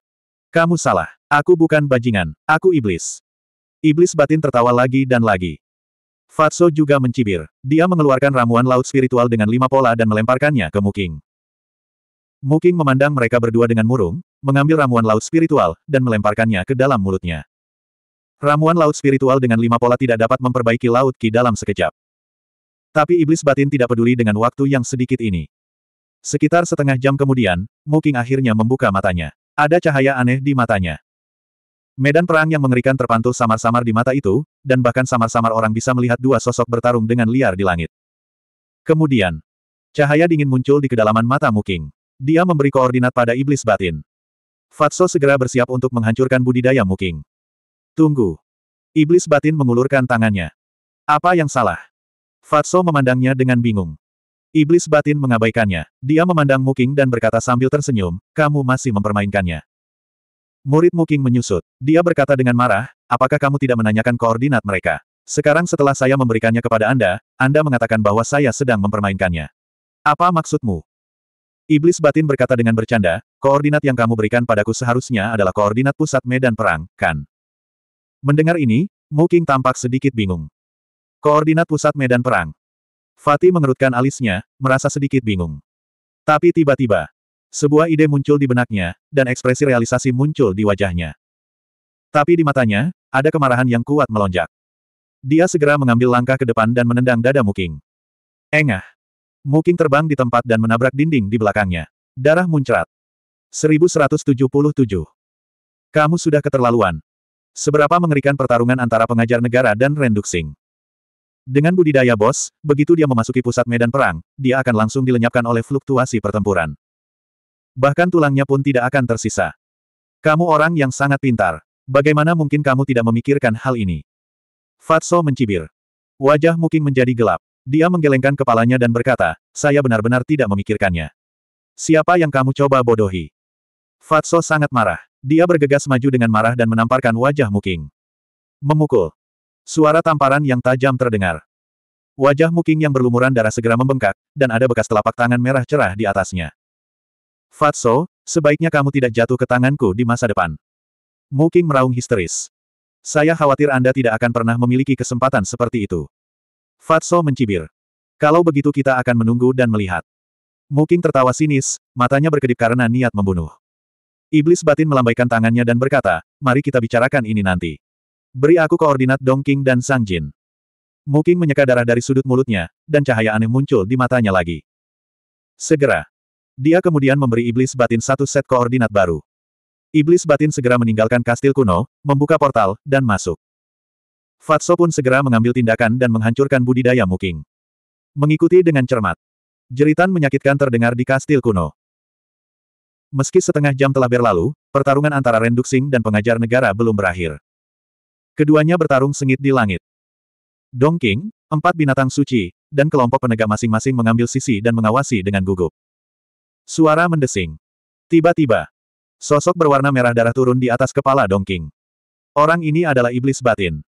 Begitu iblis batin muncul, aura pembunuh yang mengerikan melonjak ke segala arah. Siapa di sana? Entah itu Dongking, empat binatang suci, atau kelompok penegak, mereka semua segera melihat ke atas. Segera, sekelompok orang mengubah ekspresi mereka. Bagaimana mungkin Qin Fei Yang? Ada apa dengan tingkat kultivasinya? Aura yang sangat kuat, aura pembunuh yang mengerikan. Jika bukan karena dia terlihat persis seperti Qin Fei Yang, mereka tidak akan percaya bahwa orang di depan mereka adalah Qin Fei Yang. Tapi iblis batin tidak melihat ke arah mereka. Seolah itu bukan apa-apa. Dia mengangkat kepalanya dan melihat ke langit ribuan mil jauhnya. Namun, jaraknya terlalu jauh sehingga dia tidak bisa melihatnya dengan jelas. Dia hanya bisa mendengar suara pertempuran. Tentu saja, dia tahu tentang Renduxing. Dia memiliki dua senjata ilahi. Bunuh dia. Sebuah teriakan tiba-tiba meledak, dan itu dipenuhi dengan niat membunuh yang tidak bisa dibubarkan. Hem. Iblis batin mengangkat alisnya dan melihat ke arah suara itu. Dia ingin melihat siapa yang begitu ceroboh. Itu adalah pria kekar berbaju hitam yang memiliki budidaya kaisar tempur bintang 6. Iblis batin tiba-tiba berkata, jadi itu adalah penegak aula dalam. Saya bertanya-tanya siapa yang berani mengancam akan membunuh saya. Kamu membual tanpa malu-malu. Meskipun saya tidak tahu mengapa kultivasi Anda tiba-tiba menjadi begitu kuat, Anda pasti akan mati di hadapan banyak dari kita. Pria kekar berbaju hitam itu mencibir. Iblis batin memandang mereka satu persatu dan tertawa, kamu memiliki banyak orang, tapi aku khawatir kamu tidak dapat membunuhku. Arogan. Kelompok penegak sangat marah. Ledakan. Gelombang aura meletus seperti gunung berapi, dan dunia tiba-tiba bergetar. Membunuh. Pria kekar berbaju hitam itu meraung. Pada saat itu, Kelompok penegak berubah menjadi aliran cahaya, membawa aura pembunuh yang mengerikan, dan menyerang ke arah Qin Fei Yang. Melihat ini, Dongking dan empat binatang suci saling memandang dan diam-diam mundur. Qin Fei Yang saat ini bertingkah terlalu aneh. Mereka tidak berani bertindak gegabah sebelum menemukan jawabannya. Iblis batin secara alami memperhatikan gerakan kecil pria dan empat binatang suci, tapi dia tidak menghentikan mereka. Dia hanya memandang mereka dengan jijik dan kemudian melihat kembali ke kelompok penegak. Ada 50 hingga 60 penegak yang dibawa oleh guru kekaisaran kali ini. Dengan kata lain, ada 50 hingga 60 penegak hukum di depannya, dan yang terlemah adalah Kaisar Tempur Bintang 5. Jika dia tidak mengaktifkan kill formula, dia hanya bisa melarikan diri dari barisan yang menakutkan. Tapi sekarang, yang ingin dia lakukan adalah membunuh mereka semua dalam satu gerakan. Dia telah merencanakan untuk melakukannya sebelum dia datang. Dia ingin menggunakan Renduxing untuk menahan guru kekaisaran, sementara dia mengambil kesempatan untuk membunuh semua anteknya. Penegak aula dalam adalah pilar kekaisaran kin besar. Bayangkan, bagaimana reaksi guru kerajaan dan kaisar jika mereka kehilangan 50 hingga 60 penegak hukum dalam satu kali kejadian. Mereka pasti akan menjadi gila karena marah. Inilah efek yang diinginkan Qin Fei Yang. Bajingan kecil, mati. Pria berjubah hitam memimpin dan mendarat di depan iblis batin. Battle Kinya meraung saat dia meninju wajah iblis batin. Aku memiliki kekuatan garis darah leluhur. Kamu memarahiku, yang setara dengan memarahi garis darah leluhur. Kamu harus dibunuh. Iblis batin berteriak dingin dengan wajah tanpa ekspresi. Dia mengangkat lengannya dan menamparkan tangan pria berjubah hitam itu. Cahaya keemasan meledak. Ah! Pria berjubah hitam itu berteriak di tempat saat lengannya terkoyak. Segera setelah, iblis batin menunjuk ke arah pria berjubah hitam itu. Kekuatan tak kasat mata berubah menjadi lautan luas dan menenggelamkan pria berjubah hitam itu. Dalam sekejap mata, Pria berjubah hitam itu terkoyak oleh kekuatan tak kasat mata, dan darahnya mengotori langit. Sangat kuat. Apakah dia benar-benar Qin Fei Yang? Dongking dan empat binatang suci, yang telah mundur jauh, terkejut saat melihat pemandangan ini. Dia membunuh Kaisar Tempur Bintang 6 dalam waktu kurang dari tiga tarikan napas. Kekuatan macam apa ini? Ketika dia meninggalkan reruntuhan, dia hanyalah seorang Saint Tempur Bintang 6. Bagaimana dia tiba-tiba menjadi Kaisar Tempur Bintang 5? Apa yang terjadi selama mereka berpisah? Penegak hukum lainnya juga terkejut. Seorang lelaki tua berbaju hitam tiba-tiba gemetar dan berteriak, dia bukan lagi Qin Fei Yang yang kita kenal. Jangan menahan diri, serang dengan sekuat tenaga. Mendengar ini, tubuh dan pikiran semua orang gemetar. Mereka segera menyebar dan mengepung iblis batin. Mereka mulai berlatih battle arts mereka. Ledakan. Dentang. Mengaum. Dalam sekejap. Battle arts yang panjangnya puluhan kaki muncul di langit. Aura destruktif menyapu langit sejauh ratusan mil. Battle Arts ini mencakup semua jenis senjata dan binatang buas. Namun, tanpa kecuali, semuanya adalah Battle Arts yang sempurna. Setiap Battle Art memancarkan kekuatan ganas yang tak tertandingi. Membunuh. Lusinan orang saling memandang dan berteriak pada saat bersamaan. Niat membunuh mereka membumbung tinggi ke angkasa. Ledakan. Lusinan seni pertempuran yang sempurna seperti hujan meteor, menyerang Qin Fei Yang. Begitu banyak gerakan membunuh. Apakah dia masih belum mati? Dong King berbisik. Namun, sedikit keraguan muncul di matanya. Menghadapi situasi seperti itu, ekspresi Qin Fei Yang tidak berubah. Dia tidak gugup atau gelisah. Mungkinkah 50 hingga 60 orang ini tidak dapat mengancamnya? Seseorang harus mengetahuinya. Di antara 50 hingga 60 orang ini, ada banyak kaisar tempur bintang 6. Bahkan ada selusin kaisar tempur bintang 7. Menghadapi barisan seperti itu, bahkan kaisar tempur bintang 8 tidak akan berani lengah, apalagi Qin Fei Yang yang hanya kaisar tempur bintang 5. Ledakan. Saat Dongking ragu, tubuh iblis batin bergetar dan kekuatan naga yang kuat muncul dari tubuhnya. Kekuatan naga. Mata Dongking bergetar. Itu benar. Orang ini telah menguasai seni ilahi. Meskipun hanya ada satu perbedaan kata antara seni ilahi dan seni pertempuran, perbedaan kekuatannya seperti langit dan bumi. Apakah itu keterampilan naga surgawi? Dia menatap iblis batin. Tubuh iblis batin penuh dengan kekuatan naga yang perkasa. Dia melihat sekeliling dan matanya sedingin es. Tiba-tiba, aura naga ungu emas membubung ke langit. Segel ilahi seukuran telapak tangan langsung muncul. Ini memang jurus pertama dari keterampilan naga ilahi. Tubuh dan pikiran Dong King bergetar. Pada saat yang sama, Kelompok penegak yang mengelilingi iblis batin melihat segel naga ilahi muncul dan pupil mereka mengecil. Mereka sangat gugup. Terlebih lagi, ada sedikit rasa hormat di mata mereka. Ini bukan rasa hormat terhadap Qin Fei Yang. Itu adalah penghormatan terhadap kaisar pertama. Jangan panik. Meskipun seni pertempuran kita tidak sebanding dengan seni ilahi, ada kaisar tempur bintang 6 dan kaisar tempur bintang 7 di antara kita. Tingkat kultivasi mereka jauh lebih tinggi daripada miliknya. Saya tidak percaya kita tidak bisa mengalahkan segel naga ilahi jika kita bergabung. Teriak seorang tetua. Mendengar ini. Penegak hukum lainnya mau tak mau menantikannya. Hehe. Kamu sebenarnya ingin mengguncang segel naga ilahi. Saya harus mengatakan bahwa kamu benar-benar naif. Tapi aku tidak bisa menyalahkanmu. Karena mereka yang tidak memiliki seni ilahi tidak akan pernah tahu betapa menakutkannya seni ilahi. Iblis batin tertawa dan matanya penuh penghinaan. Ledakan. Dentang-dentang. Raungan mengaum. Dalam sekejap mata, lusinan Battle Arts yang sempurna tiba-tiba menyerang. Untuk sesaat, tempat itu dipenuhi angin kencang dan aura pembunuh. Iblis batin seperti dewa kematian, berdiri dengan bangga di atas angin. Rambut merah darahnya menari-nari di belakangnya seperti sungai darah. Segel naga ilahi, lindungi tubuh dewaku. Tiba-tiba, dia mengangkat kepalanya dan meraung. Segel naga ilahi membubung tinggi ke langit dan melebar melawan angin. Cahaya ungu kemasan meledak seperti matahari di atas kepala iblis batin. Langsung. Gumpalan cahaya suci jatuh dari langit, membentuk layar cahaya ungu kemasan selebar tiga kaki. Qin Fei yang berdiri di tengah layar cahaya ungu kemasan dan menatap para penegak dengan jijik. Ledakan. Saat berikutnya. Lusinan Battle Arts yang sempurna semuanya meledak di layar cahaya ungu emas. Dalam sekejap. Terjadi ledakan cahaya tak berujung. Sosok iblis batin tenggelam dalam cahaya. Dongking menggelengkan kepalanya dan berkata, bahkan jika teknik naga ilahi adalah seni ilahi, kamu tidak boleh terlalu sombong. Tidak. Monyet Sage menggelengkan kepalanya. Apa maksudmu? Dongking terkejut. Dia berpikir bahkan jika Qin yang tidak mati kali ini, dia akan membayar mahal. Dia tidak menyangka Sage Monkey akan menolak idenya. Kamu tidak tahu betapa kuatnya teknik naga ilahi. Bahkan jika ada ratusan seni pertempuran yang sempurna, mereka tidak akan mampu melukai Qin Fei yang sama sekali. Sage monyet berkata dengan suara yang dalam. Matanya penuh rasa iri pada Qin Fei Yang. Sangat kuat. Dong King tercengang. Kekuatan teknik naga ilahi bukanlah sesuatu yang dapat Anda bayangkan. Kultivasi Qin Fei Yang tidak cukup sekarang. Dia tidak bisa melepaskan kekuatan sebenarnya dari teknik naga ilahi. Kata monyet bijak. Benar, teknik naga ilahi yang kamu lihat sekarang mungkin kurang dari satu persen dari kekuatan sebenarnya. Sage Eagle berkata dengan ketakutan di matanya. Ya.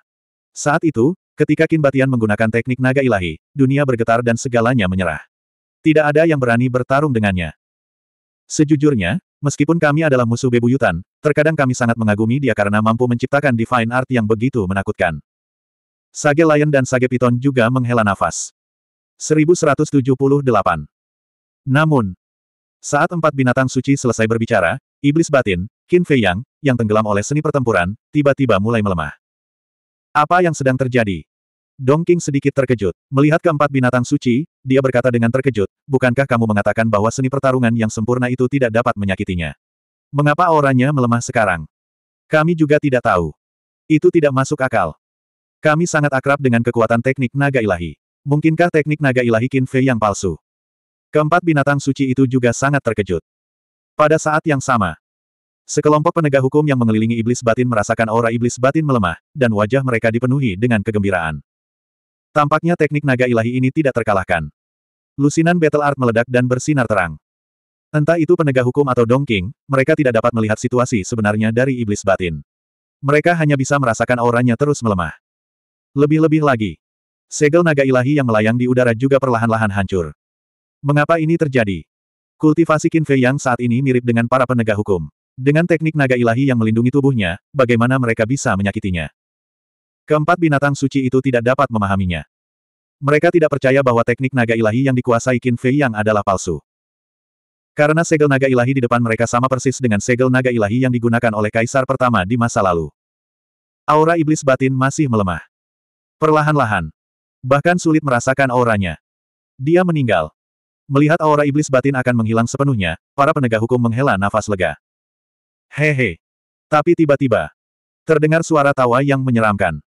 Dia belum mati. Sekelompok penegak hukum tercengang. Bang! Tiba-tiba, aura iblis batin yang melemah melonjak ke kondisi puncaknya seperti letusan gunung berapi. Segel naga ilahi yang terfragmentasi di udara juga langsung mengeras, melepaskan aura naga yang perkasa. Segera setelah, iblis batin mengambil langkah maju dan muncul di depan semua orang. Tidak ada luka di tubuhnya. Matanya tajam, dan tidak ada tanda-tanda kelemahan. Dia baru saja berpura-pura. Sage bergumam. Bajingan kecil ini hanya mempermainkan petugas penegak hukum seperti monyet. Kata Elang Suci dengan marah. Luar biasa. Dong King berbisik. Sebelumnya, dia masih sedikit tidak mau mempercayai apa yang dia dengar dari empat binatang suci. Namun, kebenaran ada di depan matanya sekarang. 50 hingga 60 seni pertarungan yang sempurna sebenarnya tidak mampu melukai satu helai pun rambutnya. Seni rahasia naga ilahi ini terlalu menakutkan, sudah mencapai tahap yang menantang surga. Sementara itu, Melihat iblis batin keluar tanpa cedera, para penegak tercengang dan dipenuhi rasa tidak percaya. Iblis batin melirik mereka dan tertawa. Apakah kamu benar-benar mengira aku sudah mati? Saya hanya bercanda. Mendengar hal tersebut, rombongan aparat penegak hukum mau tidak mau mengepalkan tangan mereka erat-erat. Mata mereka terbakar amarah.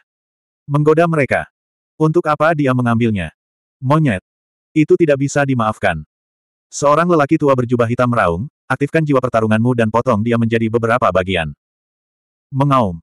Gemuruh. Dentang. Langsung. Setelah serangkaian ledakan yang menghancurkan bumi, jiwa pertarungan terus membubung ke langit. Ada jiwa binatang, jiwa senjata, jiwa artefak. Setiap jiwa pertarungan memancarkan aura yang dapat menghancurkan dunia. Lagi pula, sebagai petugas penegak hukum di aula dalam, jiwa pertarungan mereka jelas tidak biasa. Kemampuan khusus bawaan, bunuh. Orang tua berjubah hitam itu meraung, aura pembunuhnya membubung ke langit. Dalam sekejap, semua orang mengaktifkan kemampuan khusus bawaan jiwa pertarungan mereka dan berubah menjadi hujan meteor, menyerbu menuju iblis batin. Hai! Iblis batin menyeringai dan tiba-tiba melayang ke langit. Pada saat yang sama, segel naga ilahi langsung tumbuh setinggi ribuan kaki, seperti gunung yang menjulang tinggi. Akan kutunjukkan padamu kekuatan teknik ilahi. Iblis batin melambaikan tangannya dan segel naga ilahi turun dari langit. Kekuatan suci yang menggelinding meraung ke segala arah, menghancurkan segala sesuatu yang dilewatinya. Retakan. Dentang. Aduh. Dalam sekejap mata, semua kemampuan khusus bawaan dimusnahkan. Tak terkecuali aparat penegak hukum. Tubuh dan pikiran mereka gemetar, darah muncrat dari mulut mereka. Mata mereka dipenuhi ketakutan. Sangat kuat. Dongking juga tercengang. Kemampuan khusus bawaan jiwa pertarungan bahkan lebih kuat daripada seni pertarungan yang sempurna. Namun, ia sangat rentan menghadapi segel naga ilahi. Berlari. Tiba-tiba. Tidak diketahui siapa yang meraung ngeri, namun rombongan aparat penegak hukum langsung panik dan lari ke segala arah. Bukankah kalian semua sangat sombong tadi? Mengapa kamu melarikan diri sekarang? Wajah iblis batin penuh dengan penghinaan. Dengan lambaian tangannya, segel naga ilahi menghantam tanah. Tanah bergetar dan gunung-gunung runtuh. Celah jurang menyebar ke segala arah seperti jaring laba-laba. Dalam sekejap mata, tempat ini hancur dan penuh kehancuran. Ah! Pada saat yang sama, lebih dari sepuluh petugas penegak hukum Kaisar Tempur Bintang Lima tidak dapat mengelak tepat waktu dan dibunuh di tempat oleh segel naga ilahi. Daging dan darah mereka beterbangan ke seluruh langit. Meski yang lainnya lolos, mereka juga terlempar oleh aura segel naga ilahi. Seperti meteorit, mereka jatuh ke tanah dan berteriak tanpa henti. Dengan cara yang begitu menakutkan, siapa yang berani bersaing dengannya?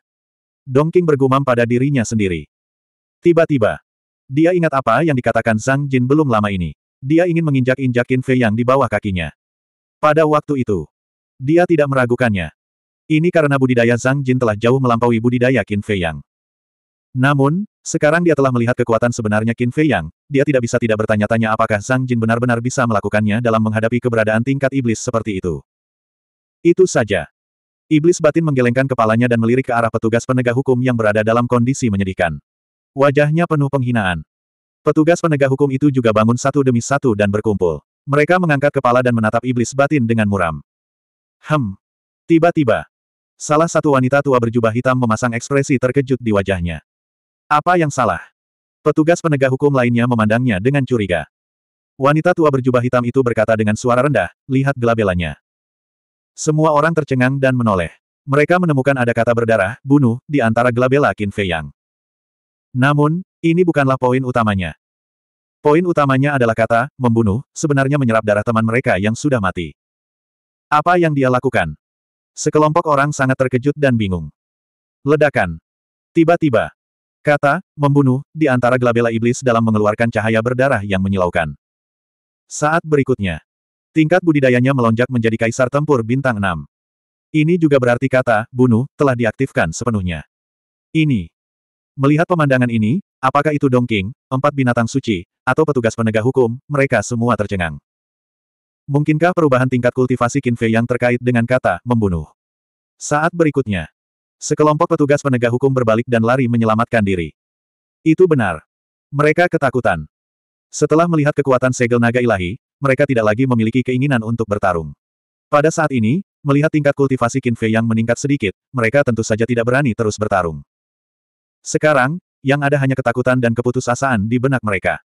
Apakah hanya ini yang bisa dilakukan petugas penegak hukum di aula dalam? Ini sangat mengecewakan. Iblis batin menggelengkan kepalanya dan bergumam. Cahaya dingin muncul di matanya. Suara mendesing. Dia menggunakan Phantom Steps dan meninggalkan serangkaian bayangan setelahnya. Dia seperti dewa kematian yang turun ke dunia, dengan kejam memburu petugas penegak hukum tersebut. Tidak. Saya mohon padamu. Ah. Setiap kali dia berhenti, darah petugas penegak hukum berceceran di tempat. Jeritan putus asa bergema di seluruh langit dan bumi. Dalam waktu kurang dari seratus napas. Hanya ada sepuluh petugas penegak hukum yang tersisa dari lima puluh atau enam puluh petugas. Mereka semua adalah kaisar tempur bintang tujuh, tetapi menghadapi Qin Fei yang saat ini, mereka tidak memiliki keberanian sedikit pun untuk melawan dan melarikan diri demi hidup mereka. Melihat iblis batin mengikuti dari dekat, seorang ketua berpakaian hitam berteriak ngeri, Qin Fei Yang, jangan paksa kami. Jadi bagaimana jika aku memaksamu? Iblis batin mencibir. Mereka sudah berada di ujung jalan dan masih ingin mengancamnya. Penatua berpakaian hitam hendak berbicara. Seorang wanita tua di sebelahnya berkata, jangan bicara omong kosong dengannya. Meskipun dia memiliki teknik naga ilahi, tingkat kultivasinya sedikit lebih rendah dari kita. Dia tidak bisa mengimbangi kecepatan kita. Ya. Dia memiliki keterampilan tambahan yang sempurna, begitu juga kita. Selama kita tidak berselisih dengannya, dia tidak bisa menghentikan kita sama sekali. Delapan orang lainnya mengangguk satu demi satu. Mendengar ini, Penatua berpakaian hitam tidak bisa menahan perasaan lega. Apakah benar hal itu merupakan masalahnya? Tapi iblis batin di belakang mereka mencibir. Hem, Sepuluh dari mereka menoleh untuk melihat iblis batin dengan kaget. Ledakan. Saat mereka menoleh, tubuh iblis batin bergetar dan mengaktifkan teknik naga melonjak. Tingkat budidayanya langsung melonjak menjadi kaisar tempur bintang tujuh. Kecepatannya juga melonjak dengan selisih yang besar. Bagaimana ini mungkin? Sepuluh dari mereka terkejut. Bagaimana tingkat kultivasinya bisa meningkat? Ini tidak mungkin. Dari Santo Tempur Bintang 6 hingga Kaisar Tempur Bintang 7, levelnya jauh lebih tinggi. Ini terlalu menggelikan. Di kejauhan, Dongking dan empat binatang suci juga tercengang. Bagaimana dia melakukannya? Bagaimana? Apakah kamu putus asa? Iblis batin tersenyum dan melirik ke arah tetua berpakaian hitam dan yang lainnya. Matanya penuh kenakalan. Brengsek. Mengapa ini terjadi? Tetua berpakaian hitam itu meraung. Karena aku adalah Qin Fei Yang. Mereka yang menyinggung perasaanku harus mati. Mata iblis batin terasa dingin seperti pisau. Melihat mata merah darah dari iblis dalam, tetua berpakaian hitam dan yang lainnya tidak bisa menahan diri untuk tidak menggigil. Tetua berpakaian hitam itu meraung, jangan paksa kami binasa bersamamu. Binasa bersamamu. Apakah kamu mencoba mengatakan bahwa kamu akan menghancurkan diri sendiri? Hehe. Kalau begitu cepat dan hancurkan dirimu sendiri. Jangan buang waktu. Iblis batin menggelengkan kepalanya dan tersenyum menghina. Dia mengangkat tangannya dan melambaikannya. Aura pedang merah melonjak dan 50 bayangan pedang muncul. Dengan ketajaman yang mengejutkan, mereka menebas ke arah 10 orang itu. Pergi. Penatua berpakaian hitam mengertakkan gigi dan meraung ke arah sembilan rekan lainnya. Dia kemudian berbalik dan bergegas menuju Qin Fei Yang. Penatua Wu. Melihat ini, sembilan orang lainnya langsung meraung cemas. Cepat pergi. Tetua berpakaian hitam itu berteriak tanpa menoleh. Dia menatap iblis batin, Qin Fei Yang, dan matanya bersinar karena kegilaan. Melihat punggung tetua berpakaian hitam itu, kesembilan orang itu merasakan kesedihan yang tak bisa dijelaskan di hati mereka. Sebagai penegak hukum di aula dalam, Kapan mereka mengalami situasi seperti itu? Mereka harus bergantung pada teman mereka untuk menghancurkan diri sendiri guna memperjuangkan harapan untuk bertahan hidup. Betapa menyedihkan. Kita tidak bisa membiarkan kakak Wu mati sia-sia. Cepat pergi. Seorang wanita tua meraung. Dia menggunakan teknik bantu yang sempurna dan pergi tanpa menoleh ke belakang. Delapan orang lainnya menatap tajam ke arah tetua berpakaian hitam itu. Mereka juga berbalik dan lari menyelamatkan diri. Iblis batin melihat ke sembilan orang dan melihat ke arah tetua berpakaian hitam. Wajahnya penuh sarkasme. Bajingan kecil, pergilah ke neraka bersama-sama. Penatua berpakaian hitam itu tersenyum dingin. Tubuhnya tiba-tiba meledak di kehampaan. 1179. Penghancuran diri Kaisar Tempur Bintang 7 sangat mengerikan. Tidaklah berlebihan untuk mengatakan bahwa Kaisar Tempur Bintang 9 pun tidak akan bisa lolos dari kematian. Tapi iblis batin tidak gugup sama sekali. Desir. Dalam sekejap. Dia menghilang dalam kehampaan. Monyet suci menghela nafas, tidak masalah menggunakan penghancuran diri untuk membunuh orang lain, tapi itu tidak akan berhasil pada Qin Fei Yang. Ya. Dong King mengangguk. Qin Fei Yang memiliki kastil. Bahkan jika semuanya hancur bersama-sama, itu tidak akan menjadi ancaman baginya. Tentu saja. Semua orang mengerti bahwa penghancuran diri lelaki tua berpakaian hitam itu bukanlah untuk membunuh Qin Fei Yang, tetapi untuk memberi waktu bagi teman-temannya untuk melarikan diri. Elder Wu, jangan khawatir, kamu tidak akan mati sia-sia. Wanita tua dan orang lain yang melarikan diri ke kejauhan melihat kembali ke tempat lelaki tua berpakaian hitam itu menghancurkan dirinya sendiri, mata mereka berkilat kebencian. Segera kembali ke ibu kota kekaisaran dan laporkan ini kepada Yang Mulia. Wanita tua itu membuka portal. Pengajar kekaisaran ditahan oleh Renduxing dan tidak dapat melindungi dirinya sendiri, jadi mereka hanya bisa meninggalkan pegunungan naga ajaib dan kembali ke ibu kota kekaisaran untuk mendapatkan bala bantuan.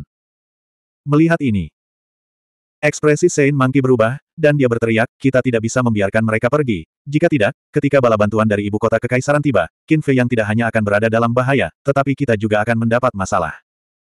Jangan khawatir, Qin Fei yang tidak akan membiarkan mereka kembali ke ibu kota kekaisaran hidup-hidup. Saat ini, yang saya khawatirkan adalah setelah kita membunuh penegak hukum itu, Qin Fei yang mungkin juga akan membunuh kita. Dong King berkata dengan cemas. Saint Eagle berkata, jangan panik, bertindaklah sesuai situasi. Selama percakapan, wanita tua itu dan yang lainnya sudah memasuki portal. Pada saat ini, iblis batin juga muncul. Dia berdiri di tanah rusak di bawah, melihat portal di kejauhan, matanya berkedip-kedip. Sudah pasti sudah terlambat untuk mencegat mereka sekarang. Tetapi, mustahil untuk lepas dari tangannya. Desir. Dia melambaikan tangannya, membuka portal, dan masuk tanpa menoleh ke belakang. Ketika portal itu menghilang, Dongking dan keempat binatang suci menghela nafas lega. Dongking berkata, dia pasti pergi untuk mencegat sembilan orang itu. Apa yang harus kita lakukan sekarang? Sage Mangki berkata dengan suara yang dalam, mari kita cari tempat untuk bersembunyi terlebih dahulu. Saat Yang Mulia membunuh pengajar kerajaan, kita tidak perlu takut padanya lagi. Satu manusia dan empat binatang segera terbang ke langit, dan bergegas menuju hutan. Mereka telah ditakuti oleh iblis batin. Tanpa renduksing, mereka tidak berani menghadapi iblis batin. Di langit di atas ibu kota negara bagian He, Suara mendesing. Sosok berwarna merah darah muncul dari udara tipis. Itu tidak lain adalah iblis batin, Qin Fei Yang. Aura pembunuh yang melonjak menutupi langit dan menutupi bumi. Seluruh kota segera diliputi lautan niat membunuh. Semua orang khawatir dan ketakutan. Semua orang dalam bahaya. Siapa? Terdengar teriakan nyaring. Seorang pemuda berpakaian hitam terbang ke langit dengan ekspresi serius di wajahnya. Justru itu adalah Tan Wu. Setelah berpisah dengan Qin Fei Yang, dia langsung kembali ke kota untuk mengunjungi teman dan keluarganya. Pada saat ini, dia sedang minum dengan beberapa temannya di sebuah restoran. Namun, dia tidak menyangka aura pembunuh akan tiba-tiba turun. Aura pembunuh ini bahkan membuatnya merasa takut. Namun, ketika dia terbang ke langit dan melihat Qin Fei Yang, sedikit keterkejutan muncul di matanya. Apakah ini Qin Fei Yang? Iblis batin berkata secara telepati, beri aku koordinat altar teleportasi dari negara bagian He ke ibu kota kekaisaran segera. Hem. Tan Wu terkejut. Hentikan omong kosongmu, cepatlah. Iblis batin berpikir dalam hati, cahaya berdarah muncul di matanya. Mata Tan Wu berkedip, dan dia segera memberikan koordinat kepada iblis batin secara diam-diam. Iblis batin juga segera membuka portal teleportasi dan masuk. Aura pembunuh yang mengerikan, apakah dia Qin Fei Yang? Mengapa dia berbeda dari terakhir kali dia muncul?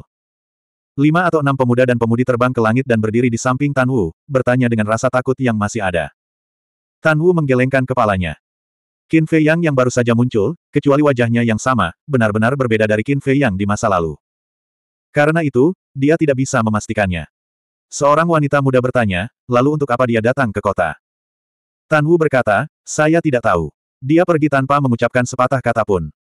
Sekarang, dia pasti harus memutuskan hubungan dengan Qin Fei Yang, jika tidak, bencana akan menimpanya. Di Ngarai. Seorang lelaki tua berambut putih dan seorang lelaki paruh baya berdiri berdampingan di puncak gunung, tampak sedikit kesal. Dua orang ini. Pria tua berambut putih itu adalah majikan Tan Wu, penguasa istana sebelumnya. Pria paruh baya itu adalah penguasa istana saat ini. Dan orang yang membuat mereka kesal adalah Qin Fei Yang. Mereka tidak mengerti mengapa Qin Fei Yang tiba-tiba datang ke negara He mereka. Desir. Tiba-tiba. Sembilan sosok berdarah muncul. Itu adalah wanita tua dan yang lainnya. Apa yang telah terjadi? Melihat sembilan orang itu, wajah kedua pria itu berubah, dan mereka bergegas menyambut mereka. Bagaimana mungkin wanita tua itu dan yang lainnya punya mood untuk memperhatikan mereka sekarang? Setelah muncul, mereka langsung bergegas turun. Di tengah ngarai, ada sebuah rumah kayu kecil, dan altar teleportasi berada di bawah rumah kayu kecil ini. Sembilan orang itu bergegas masuk ke rumah kayu kecil itu satu demi satu. Bagaimana situasinya? Pria tua berambut putih dan pria parubaya berdiri di atas ngarai, saling memandang. Di bawah rumah kayu kecil itu, ada ruang rahasia. Altar teleportasi berdiri di tengah ruang rahasia, memancarkan kilau dingin. Wanita tua itu dan yang lainnya memasuki ruang rahasia, saling memandang, dan segera mengaktifkan battle key mereka untuk menghidupkan kembali altar teleportasi. Ledakan. Saat altar teleportasi dihidupkan kembali, aura pembunuh yang mengejutkan tiba-tiba turun di atas ngarai. Tidak baik. Dia mengejar kita. Wajah sembilan orang itu berubah. Naiklah dengan cepat. Wanita tua itu berteriak. Sembilan orang itu dengan cepat melompat ke altar teleportasi, dan iblis batin juga mengaum. Cepat, cepat, cepat. Saat mereka hendak diteleportasi, aura naga yang menakutkan menyebar ke seluruh ngarai. Iblis batin berdiri di atas ngarai, dan di atas kepala mereka, segel naga ilahi bersinar terang. Tidak jauh dari situ, lelaki tua berambut putih dan lelaki paruh baya merasakan aura ilahi yang menakutkan, tubuh mereka gemetar, dan wajah mereka menjadi pucat. Orang-orang seperti mereka, kapan mereka pernah melihat seni ilahi? Jadi mereka takut konyol. Dan penampilan Qin Fei yang saat ini, serta aura pembunuh di sekujur tubuhnya, membuat mereka sangat ketakutan. Menghancurkan. Dalam sekejap mata, iblis batin memandang ke ngarai di bawah dan melontarkan dua kata dengan dingin. Gemuruh. Segel naga ilahi langsung membawa aura destruktif dan meledak ke dalam ngarai. Dengan suara keras, seluruh ngarai langsung berubah menjadi abu, termasuk rumah kayu kecil dan ruang rahasia. Wanita tua dan yang lainnya, yang akan diteleportasi, terlempar, dan darah muncrat dari mulut mereka. Tidak. Mereka putus asa. Mereka hampir kembali ke ibu kota kekaisaran, tapi sekarang mereka hanya bisa menyaksikan altar teleportasi semakin menjauh dari mereka. Mereka dipenuhi dengan kebencian. Qin Fei Yang, Aku tidak akan membiarkanmu pergi meskipun aku menjadi hantu. Wanita tua itu meraung, dan tubuh fisiknya tiba-tiba meledak. Melihat ini, delapan orang lainnya tersenyum sedih dan menghancurkan tubuh fisik mereka juga. Kaisar Tempur Sembilan Bintang Tujuh menghancurkan dirinya sendiri pada saat yang sama, dan itu bukan lelucon. Bahkan iblis batin tidak berani mengambil risiko. Dia segera berbalik dan berlari menuju pria tua berambut putih dan pria parubaya. Jika dia tidak mengambil tindakan, kedua orang ini pasti akan mati. Ketika dia sampai di depan mereka berdua, dia meraih bahu mereka dan langsung menghilang tanpa jejak. Gemuruh. Retakan. Gelombang udara yang mengerikan itu menyapu langit dan bumi. Gunung dan sungai hancur, dan bumi runtuh. Ini adalah pemandangan kesengsaraan dan penderitaan. Bahkan ibu kota negara bagian He bisa merasakan aura destruktif. Hanya altar teleportasi yang seperti batu keras kepala. Sebesar apa pun dampaknya, tidak rusak sama sekali. Di dalam kastil kuno, Iblis batin menundukkan kepalanya dan menyilangkan tangan di depan dadanya, seolah sedang memikirkan sesuatu. Pria tua berambut putih dan pria parubaya masih memasang ekspresi ketakutan di wajah mereka. Mereka belum pernah melihat pemandangan seperti itu seumur hidup mereka. Oleh karena itu, sulit bagi mereka untuk tenang dalam waktu singkat. Waktu berlalu dengan tenang. Badai di luar berangsur-angsur mereda. Tuan, tuan rumah, di mana kamu? Tiba-tiba, teriakan cemas terdengar di kastil. Iblis batin akhirnya mengangkat kepalanya, melirik pria tua berambut putih dan pria parubaya, lalu meninggalkan kastil kuno. Dia segera melihat Tan Wu berdiri sendirian di langit, wajahnya penuh kecemasan.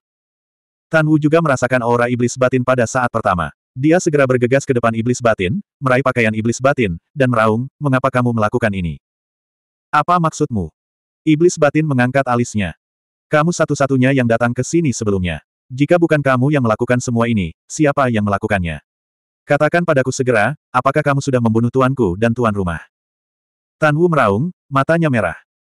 Terlihat bahwa dia sangat peduli pada lelaki tua berambut putih dan lelaki parubaya.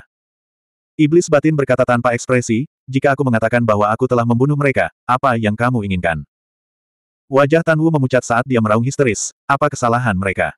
Mengapa kamu memperlakukan mereka seperti ini? Menjawab pertanyaan saya. Iblis batin berteriak dengan keagungan yang tidak dapat ditentang. Tan Wu mengucapkan kata demi kata, jika kamu benar-benar membunuh mereka, aku pasti tidak akan melepaskannya, meskipun senior Qin telah merawatku. Lumayan, kamu punya tulang punggung. Iblis batin mengangguk. Dengan lambaian tangannya, lelaki tua berjubah putih dan lelaki paruh baya muncul dari udara.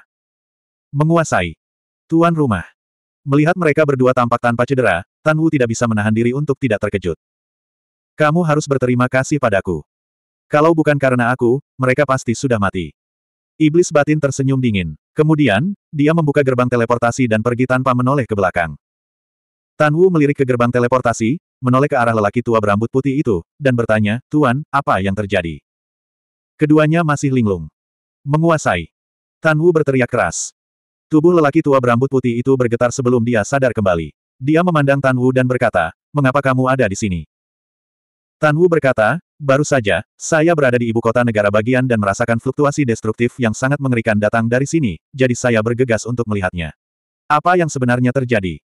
Itu Qin Fei Yang. Dia mengejar para penegak kuil. Sembilan penegak hukum itu bahkan menghancurkan dirinya sendiri. Pria tua berambut putih itu berbisik. Memikirkan metode Qin Fei Yang saat itu, dia tidak bisa menahan gemetar. Wajah lamanya juga dipenuhi ketakutan yang tidak bisa diatasi. Mengejar penegak hukum. Merusak diri sendiri. Ketika Tan Wu mendengar ini, alisnya berkerut rapat. Tapi segera, dia memikirkan ide kasarnya.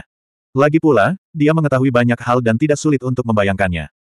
Namun, dia benar-benar terkejut di dalam hatinya. Dia tidak hanya mengejar para penegak hukum di aula dalam, dia bahkan memaksa mereka untuk menghancurkan tubuh mereka sendiri. Kapan orang ini memiliki kekuatan tirani? Tiba-tiba, Orang tua berambut putih itu memandang ke arah Tan Wu dan berkata dengan curiga, baru saja, aku sepertinya samar-samar mendengar kamu berkata bahwa seseorang telah mengasuhmu. Apa yang terjadi? Jantung Tan Wu berdetak kencang. Melihat ini, rasa tidak nyaman yang mendalam melonjak di hati lelaki tua berambut putih itu, dan dia berkata dengan suara yang dalam, apakah kamu berkolusi dengan Qin Fei Yang? Tidak tidak. Tan Wu buru-buru melambaikan tangannya. Jika tidak, mengapa dia menyelamatkan kita? Pria tua berambut putih itu mengerutkan kening. Pertanyaan ini.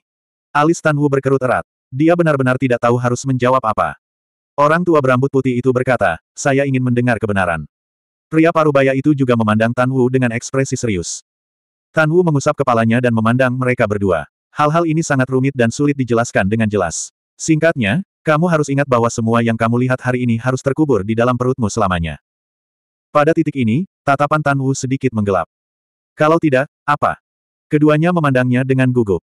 Tan Wu berkata, jika tidak, ketika Qin Fei Yang datang untuk membunuhmu, bahkan aku tidak akan bisa menghentikannya. Keduanya gemetar. Tan Wu melanjutkan, juga, orang-orang dari ibu kota pasti akan datang untuk menginterogasimu. Pada saat itu, apa pun yang mereka tanyakan, kamu harus mengatakan bahwa kamu tidak tahu. Baiklah. Keduanya mengangguk. Tan Wu melirik mereka berdua dan mengangkat kepalanya, melihat ke arah pegunungan naga iblis. 1180 pada saat yang sama, daerah pedalaman pegunungan naga ajaib. Renduxing dan pengajar kekaisaran terlibat dalam pertempuran sengit, dan darah dewa berceceran di langit. Pertarungan antara keduanya telah mencapai klimaksnya. Kekuatan ilahi menyapu ke segala arah, menghancurkan bumi dan mengguncang langit. Dan di suatu tempat di kehampaan ribuan mil jauhnya, sesosok tubuh berwarna darah muncul dari udara tipis.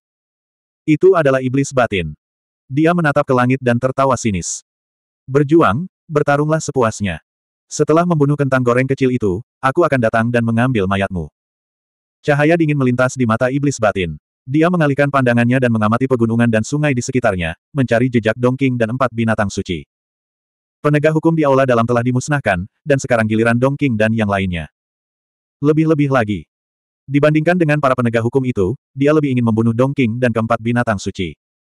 Apakah mereka melarikan diri? Tapi bisakah kamu melarikan diri? Tidak menemukan jejak Dongking dan yang lainnya di dekatnya, iblis batin tersenyum sinis. Dengan sedikit berpikir, Wolf King muncul dari udara. Iblis batin berkata, lacak aroma mereka. Wolf King menutup matanya dan mencari dengan cermat. Segera. Begitu dia membuka matanya, cahaya terang keluar. Jelas sekali, dia telah melacak aroma dongking dan keempat binatang suci. Tapi saat dia hendak berbicara, iblis batin melambaikan tangannya dan berkata, tunggu. Wolf King memandangnya dengan bingung. Iblis batin melambaikan tangannya dan mengaktifkan teknik penyembunyian. Satu manusia dan satu serigala langsung menghilang tanpa jejak. Melihat ini, Wolf King bahkan lebih bingung. Jangan bicara tentang Dong King dulu, mari kita bicara tentang empat binatang suci. Mereka semua adalah monster tua yang telah hidup puluhan ribu tahun, atau bahkan lebih lama. Tentu saja, mereka tidak bodoh. Sekarang, mereka pasti bersembunyi di suatu tempat, mengawasi kita. Jika mereka melihat kita mencari mereka, menurutmu apa yang akan mereka lakukan? Setan batin bertanya. Wolf King berkata, apakah perlu bertanya? Mereka pasti akan segera melarikan diri dari pegunungan naga ajaib. Ya. Meskipun aku tidak tahu di mana mereka bersembunyi sekarang, mereka pasti berada agak jauh dari kita. Jika mereka membuka portal dan pergi sekarang, kita tidak akan bisa menghentikan mereka. Iblis batin mencibir. Jadi begitu. Jadi kamu mengaktifkan seni penyembunyian untuk menipu mata mereka, sehingga mereka tidak bisa menebak apa yang kita coba lakukan. Wolf King berkata dalam realisasinya. Itu benar. Iblis batin mengangguk. Murid Wolf King berkontraksi. Meskipun orang-orang ini adalah iblis batin, terkadang, mereka bahkan lebih menakutkan daripada Qin Fei yang sendiri. Iblis batin mencibir, mari kita selesaikan masalah lama dan baru dengan mereka hari ini. Ayo pergi. Mata Wolf King juga bersinar dengan cahaya dingin. Serentak. Dua atau tiga ratus meter jauhnya, ada sebuah lembah terpencil. Lembahnya tidak terlalu besar, tetapi pegunungan di semua sisinya sangat megah. Saat ini, Dongking dan keempat binatang suci berdiri di atas gunung di sisi kanan lembah, mengamati iblis batin dan Raja Serigala dari jauh. Tapi tiba-tiba, melihat iblis batin dan Raja Serigala menghilang, jantung Dongking berdetak kencang. Ke mana mereka pergi? Monyet Sage berkata, sudah jelas. Dia pasti pergi ke kastil. Tidak. Dongking menggelengkan kepalanya. Apa maksudmu? Monyet Sage mengerutkan kening. Dongking berkata dengan suara yang dalam, jika aku tidak pergi ke kota Iron Ox, aku juga akan berpikir begitu. Tapi sekarang, sulit untuk mengatakannya. Kota sapi besi. Keempat binatang suci itu mencurigakan. Saya ingat ketika saya mengejar Zhang Jin, dia juga tiba-tiba menghilang. Kami semua mengira dia pergi ke kastil, tetapi kami tidak menyangka bahwa di saat berikutnya, dia benar-benar muncul di depan Sang Jin. Kata Dong King. Ada hal seperti itu. Wajah keempat binatang suci berubah. Ya. Dong King mengangguk, lalu mengerutkan kening dan berkata, saya sedang berpikir, bisakah kastilnya dipindahkan sekarang? Ini. Keempat binatang suci saling memandang. Tidak baik. Tiba-tiba. Wajah Dong King tiba-tiba berubah, dan dia berteriak, ayo tinggalkan pegunungan naga ajaib. Meninggalkan. Keempat binatang suci tercengang. Itu benar. Kamu baru saja melihatnya. Sebelum Qin Fei yang menghilang, serigala Rufian muncul. Kata Dong King. Ya. Apakah ada masalah? Keempat binatang suci itu bingung. Ini masalah besar karena Rufian Wolf punya kemampuan melacak aroma. Itu baru saja muncul. Mungkin dia sedang melacak aroma kita. Jika itu masalahnya, maka hilangnya Qin Fei yang sengaja untuk menipu kita agar kita tidak tahu apa yang ingin dia lakukan. Mungkin dia sudah ada di depan kita sekarang. Dongking mengamati kehampaan di depannya, dan matanya menjadi sangat tajam. Mendengar ini, rambut keempat binatang suci berdiri tegak. Mata mereka penuh kewaspadaan saat mengamati kekosongan di sekitar mereka. Jika itu adalah Qin Fei yang sebelumnya, bahkan jika dia berdiri di depan mereka, mereka tidak akan takut. Namun, Qin Fei yang saat ini terlalu menakutkan. Sekalipun mereka memiliki tubuh dewa semu, mereka tidak berani gegabah. Semakin mereka memikirkannya, mereka menjadi semakin bingung dan takut.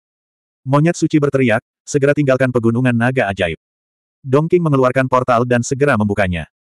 Keempat binatang suci segera berbalik dan bergegas menuju portal seolah-olah mereka sedang berlari menyelamatkan diri. Saat mereka hendak diteleportasi, aura pembunuh yang mengerikan muncul, dan portal itu langsung hancur. Dongking dan keempat binatang suci segera jatuh dari portal yang hancur, tetapi tanpa penundaan, mereka segera berkumpul bersama, saling membelakangi, menatap kehampaan dengan gugup. Kekosongan itu masih kosong. Dongking, aku menyadari bahwa aku benar-benar meremehkanmu di masa lalu. Kamu sebenarnya bisa menebak niatku. Tiba-tiba, sebuah suara menggoda terdengar. Wajah Dongking merosot, dan dia berteriak, jangan berpura-pura menjadi misterius, keluar dari sini. Maumu. Iblis batinia itu mencibir. Saat berikutnya, iblis batin dan Raja Serigala keduanya muncul di kehampaan di depan mereka, hanya berjarak tiga atau empat meter dari mereka. Bagaimana itu? Raja Serigala menyeringai. Apa maksudmu? Dong King berkata dengan suara yang dalam. Wolf King tertawa dan berkata, perasaan melihat harapan, tapi langsung putus asa. Bagaimana? Dong King berkata dengan murung, kamu sengaja melakukannya. Ya. Faktanya, kami sudah lama berdiri di sini. Alasan kenapa kami tidak segera membunuhmu adalah agar kamu berpikir bahwa kamu bisa meninggalkan pegunungan naga ajaib hidup-hidup. Kata Raja Serigala. Mata Dongking suram. Ledakan. Keempat binatang suci itu tiba-tiba mengamuk dan menerkam ke arah Raja Serigala. Adapun Qin Fei yang saat ini, mereka tidak memiliki kepastian sedikit pun. Karena itu, mereka mengalihkan target mereka ke orang yang tidak tahu berterima kasih. Serigala bermata putih hanyalah seorang Battle Saint. Dengan kekuatan mereka, akan mudah untuk mengalahkan serigala bermata putih. Selama mereka bisa mengalahkan serigala bermata putih, Qin Fei yang secara alami akan menyerah. Tapi yang tidak mereka ketahui adalah bahwa yang mengendalikan tubuh ini adalah iblis batin. Bahkan jika mereka menangkap serigala bermata putih, iblis batin tidak akan ragu. Lebih-lebih lagi, iblis batin tidak akan memberi mereka kesempatan. Ledakan.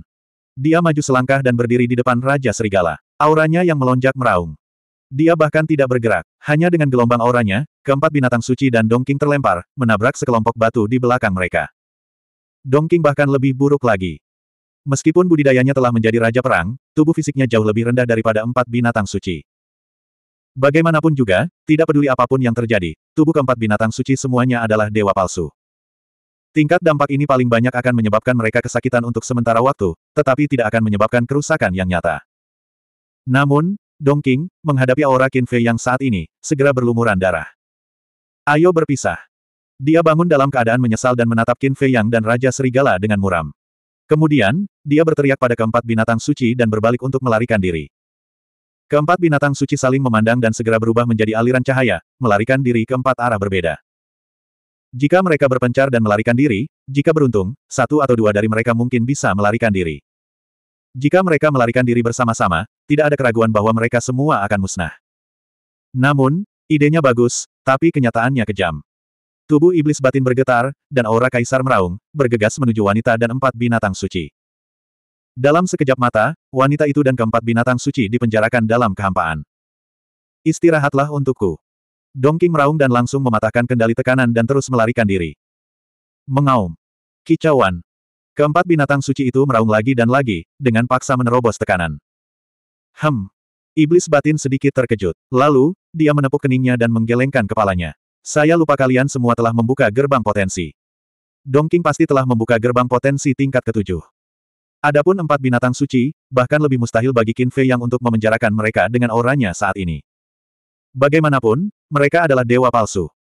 Lebih-lebih lagi, mereka telah lama mengikuti Mutianyang. Mereka pasti sudah membuka gerbang potensi sejak lama. Mereka bahkan mungkin telah membuka level ke-8.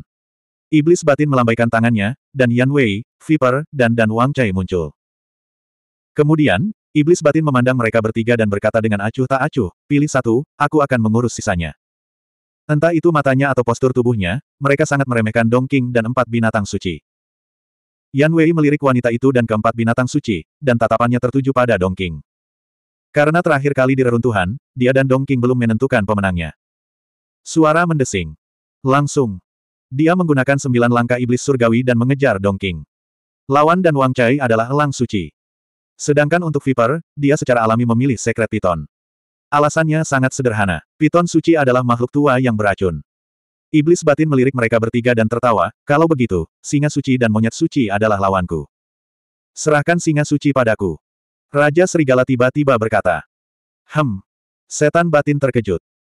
Wolf King berkata dengan percaya diri, meskipun kultivasi saya tidak sebaik itu, saya tetap yakin bisa menahannya. Tidak apa-apa. Iblis batin mengangguk. Ledakan. Wolf King mengaktifkan Berserker's Fury dan langsung berubah menjadi serigala berotot. Auranya melonjak saat dia menggunakan Void Escape Step dan bergegas menuju singa suci. Tidak buruk. Ini akan tumbuh dewasa. Iblis batin melirik ke belakang Raja Serigala dan Yan Wei, dan senyuman langka muncul di wajahnya. Suara mendesing. Mengikuti dengan cermat.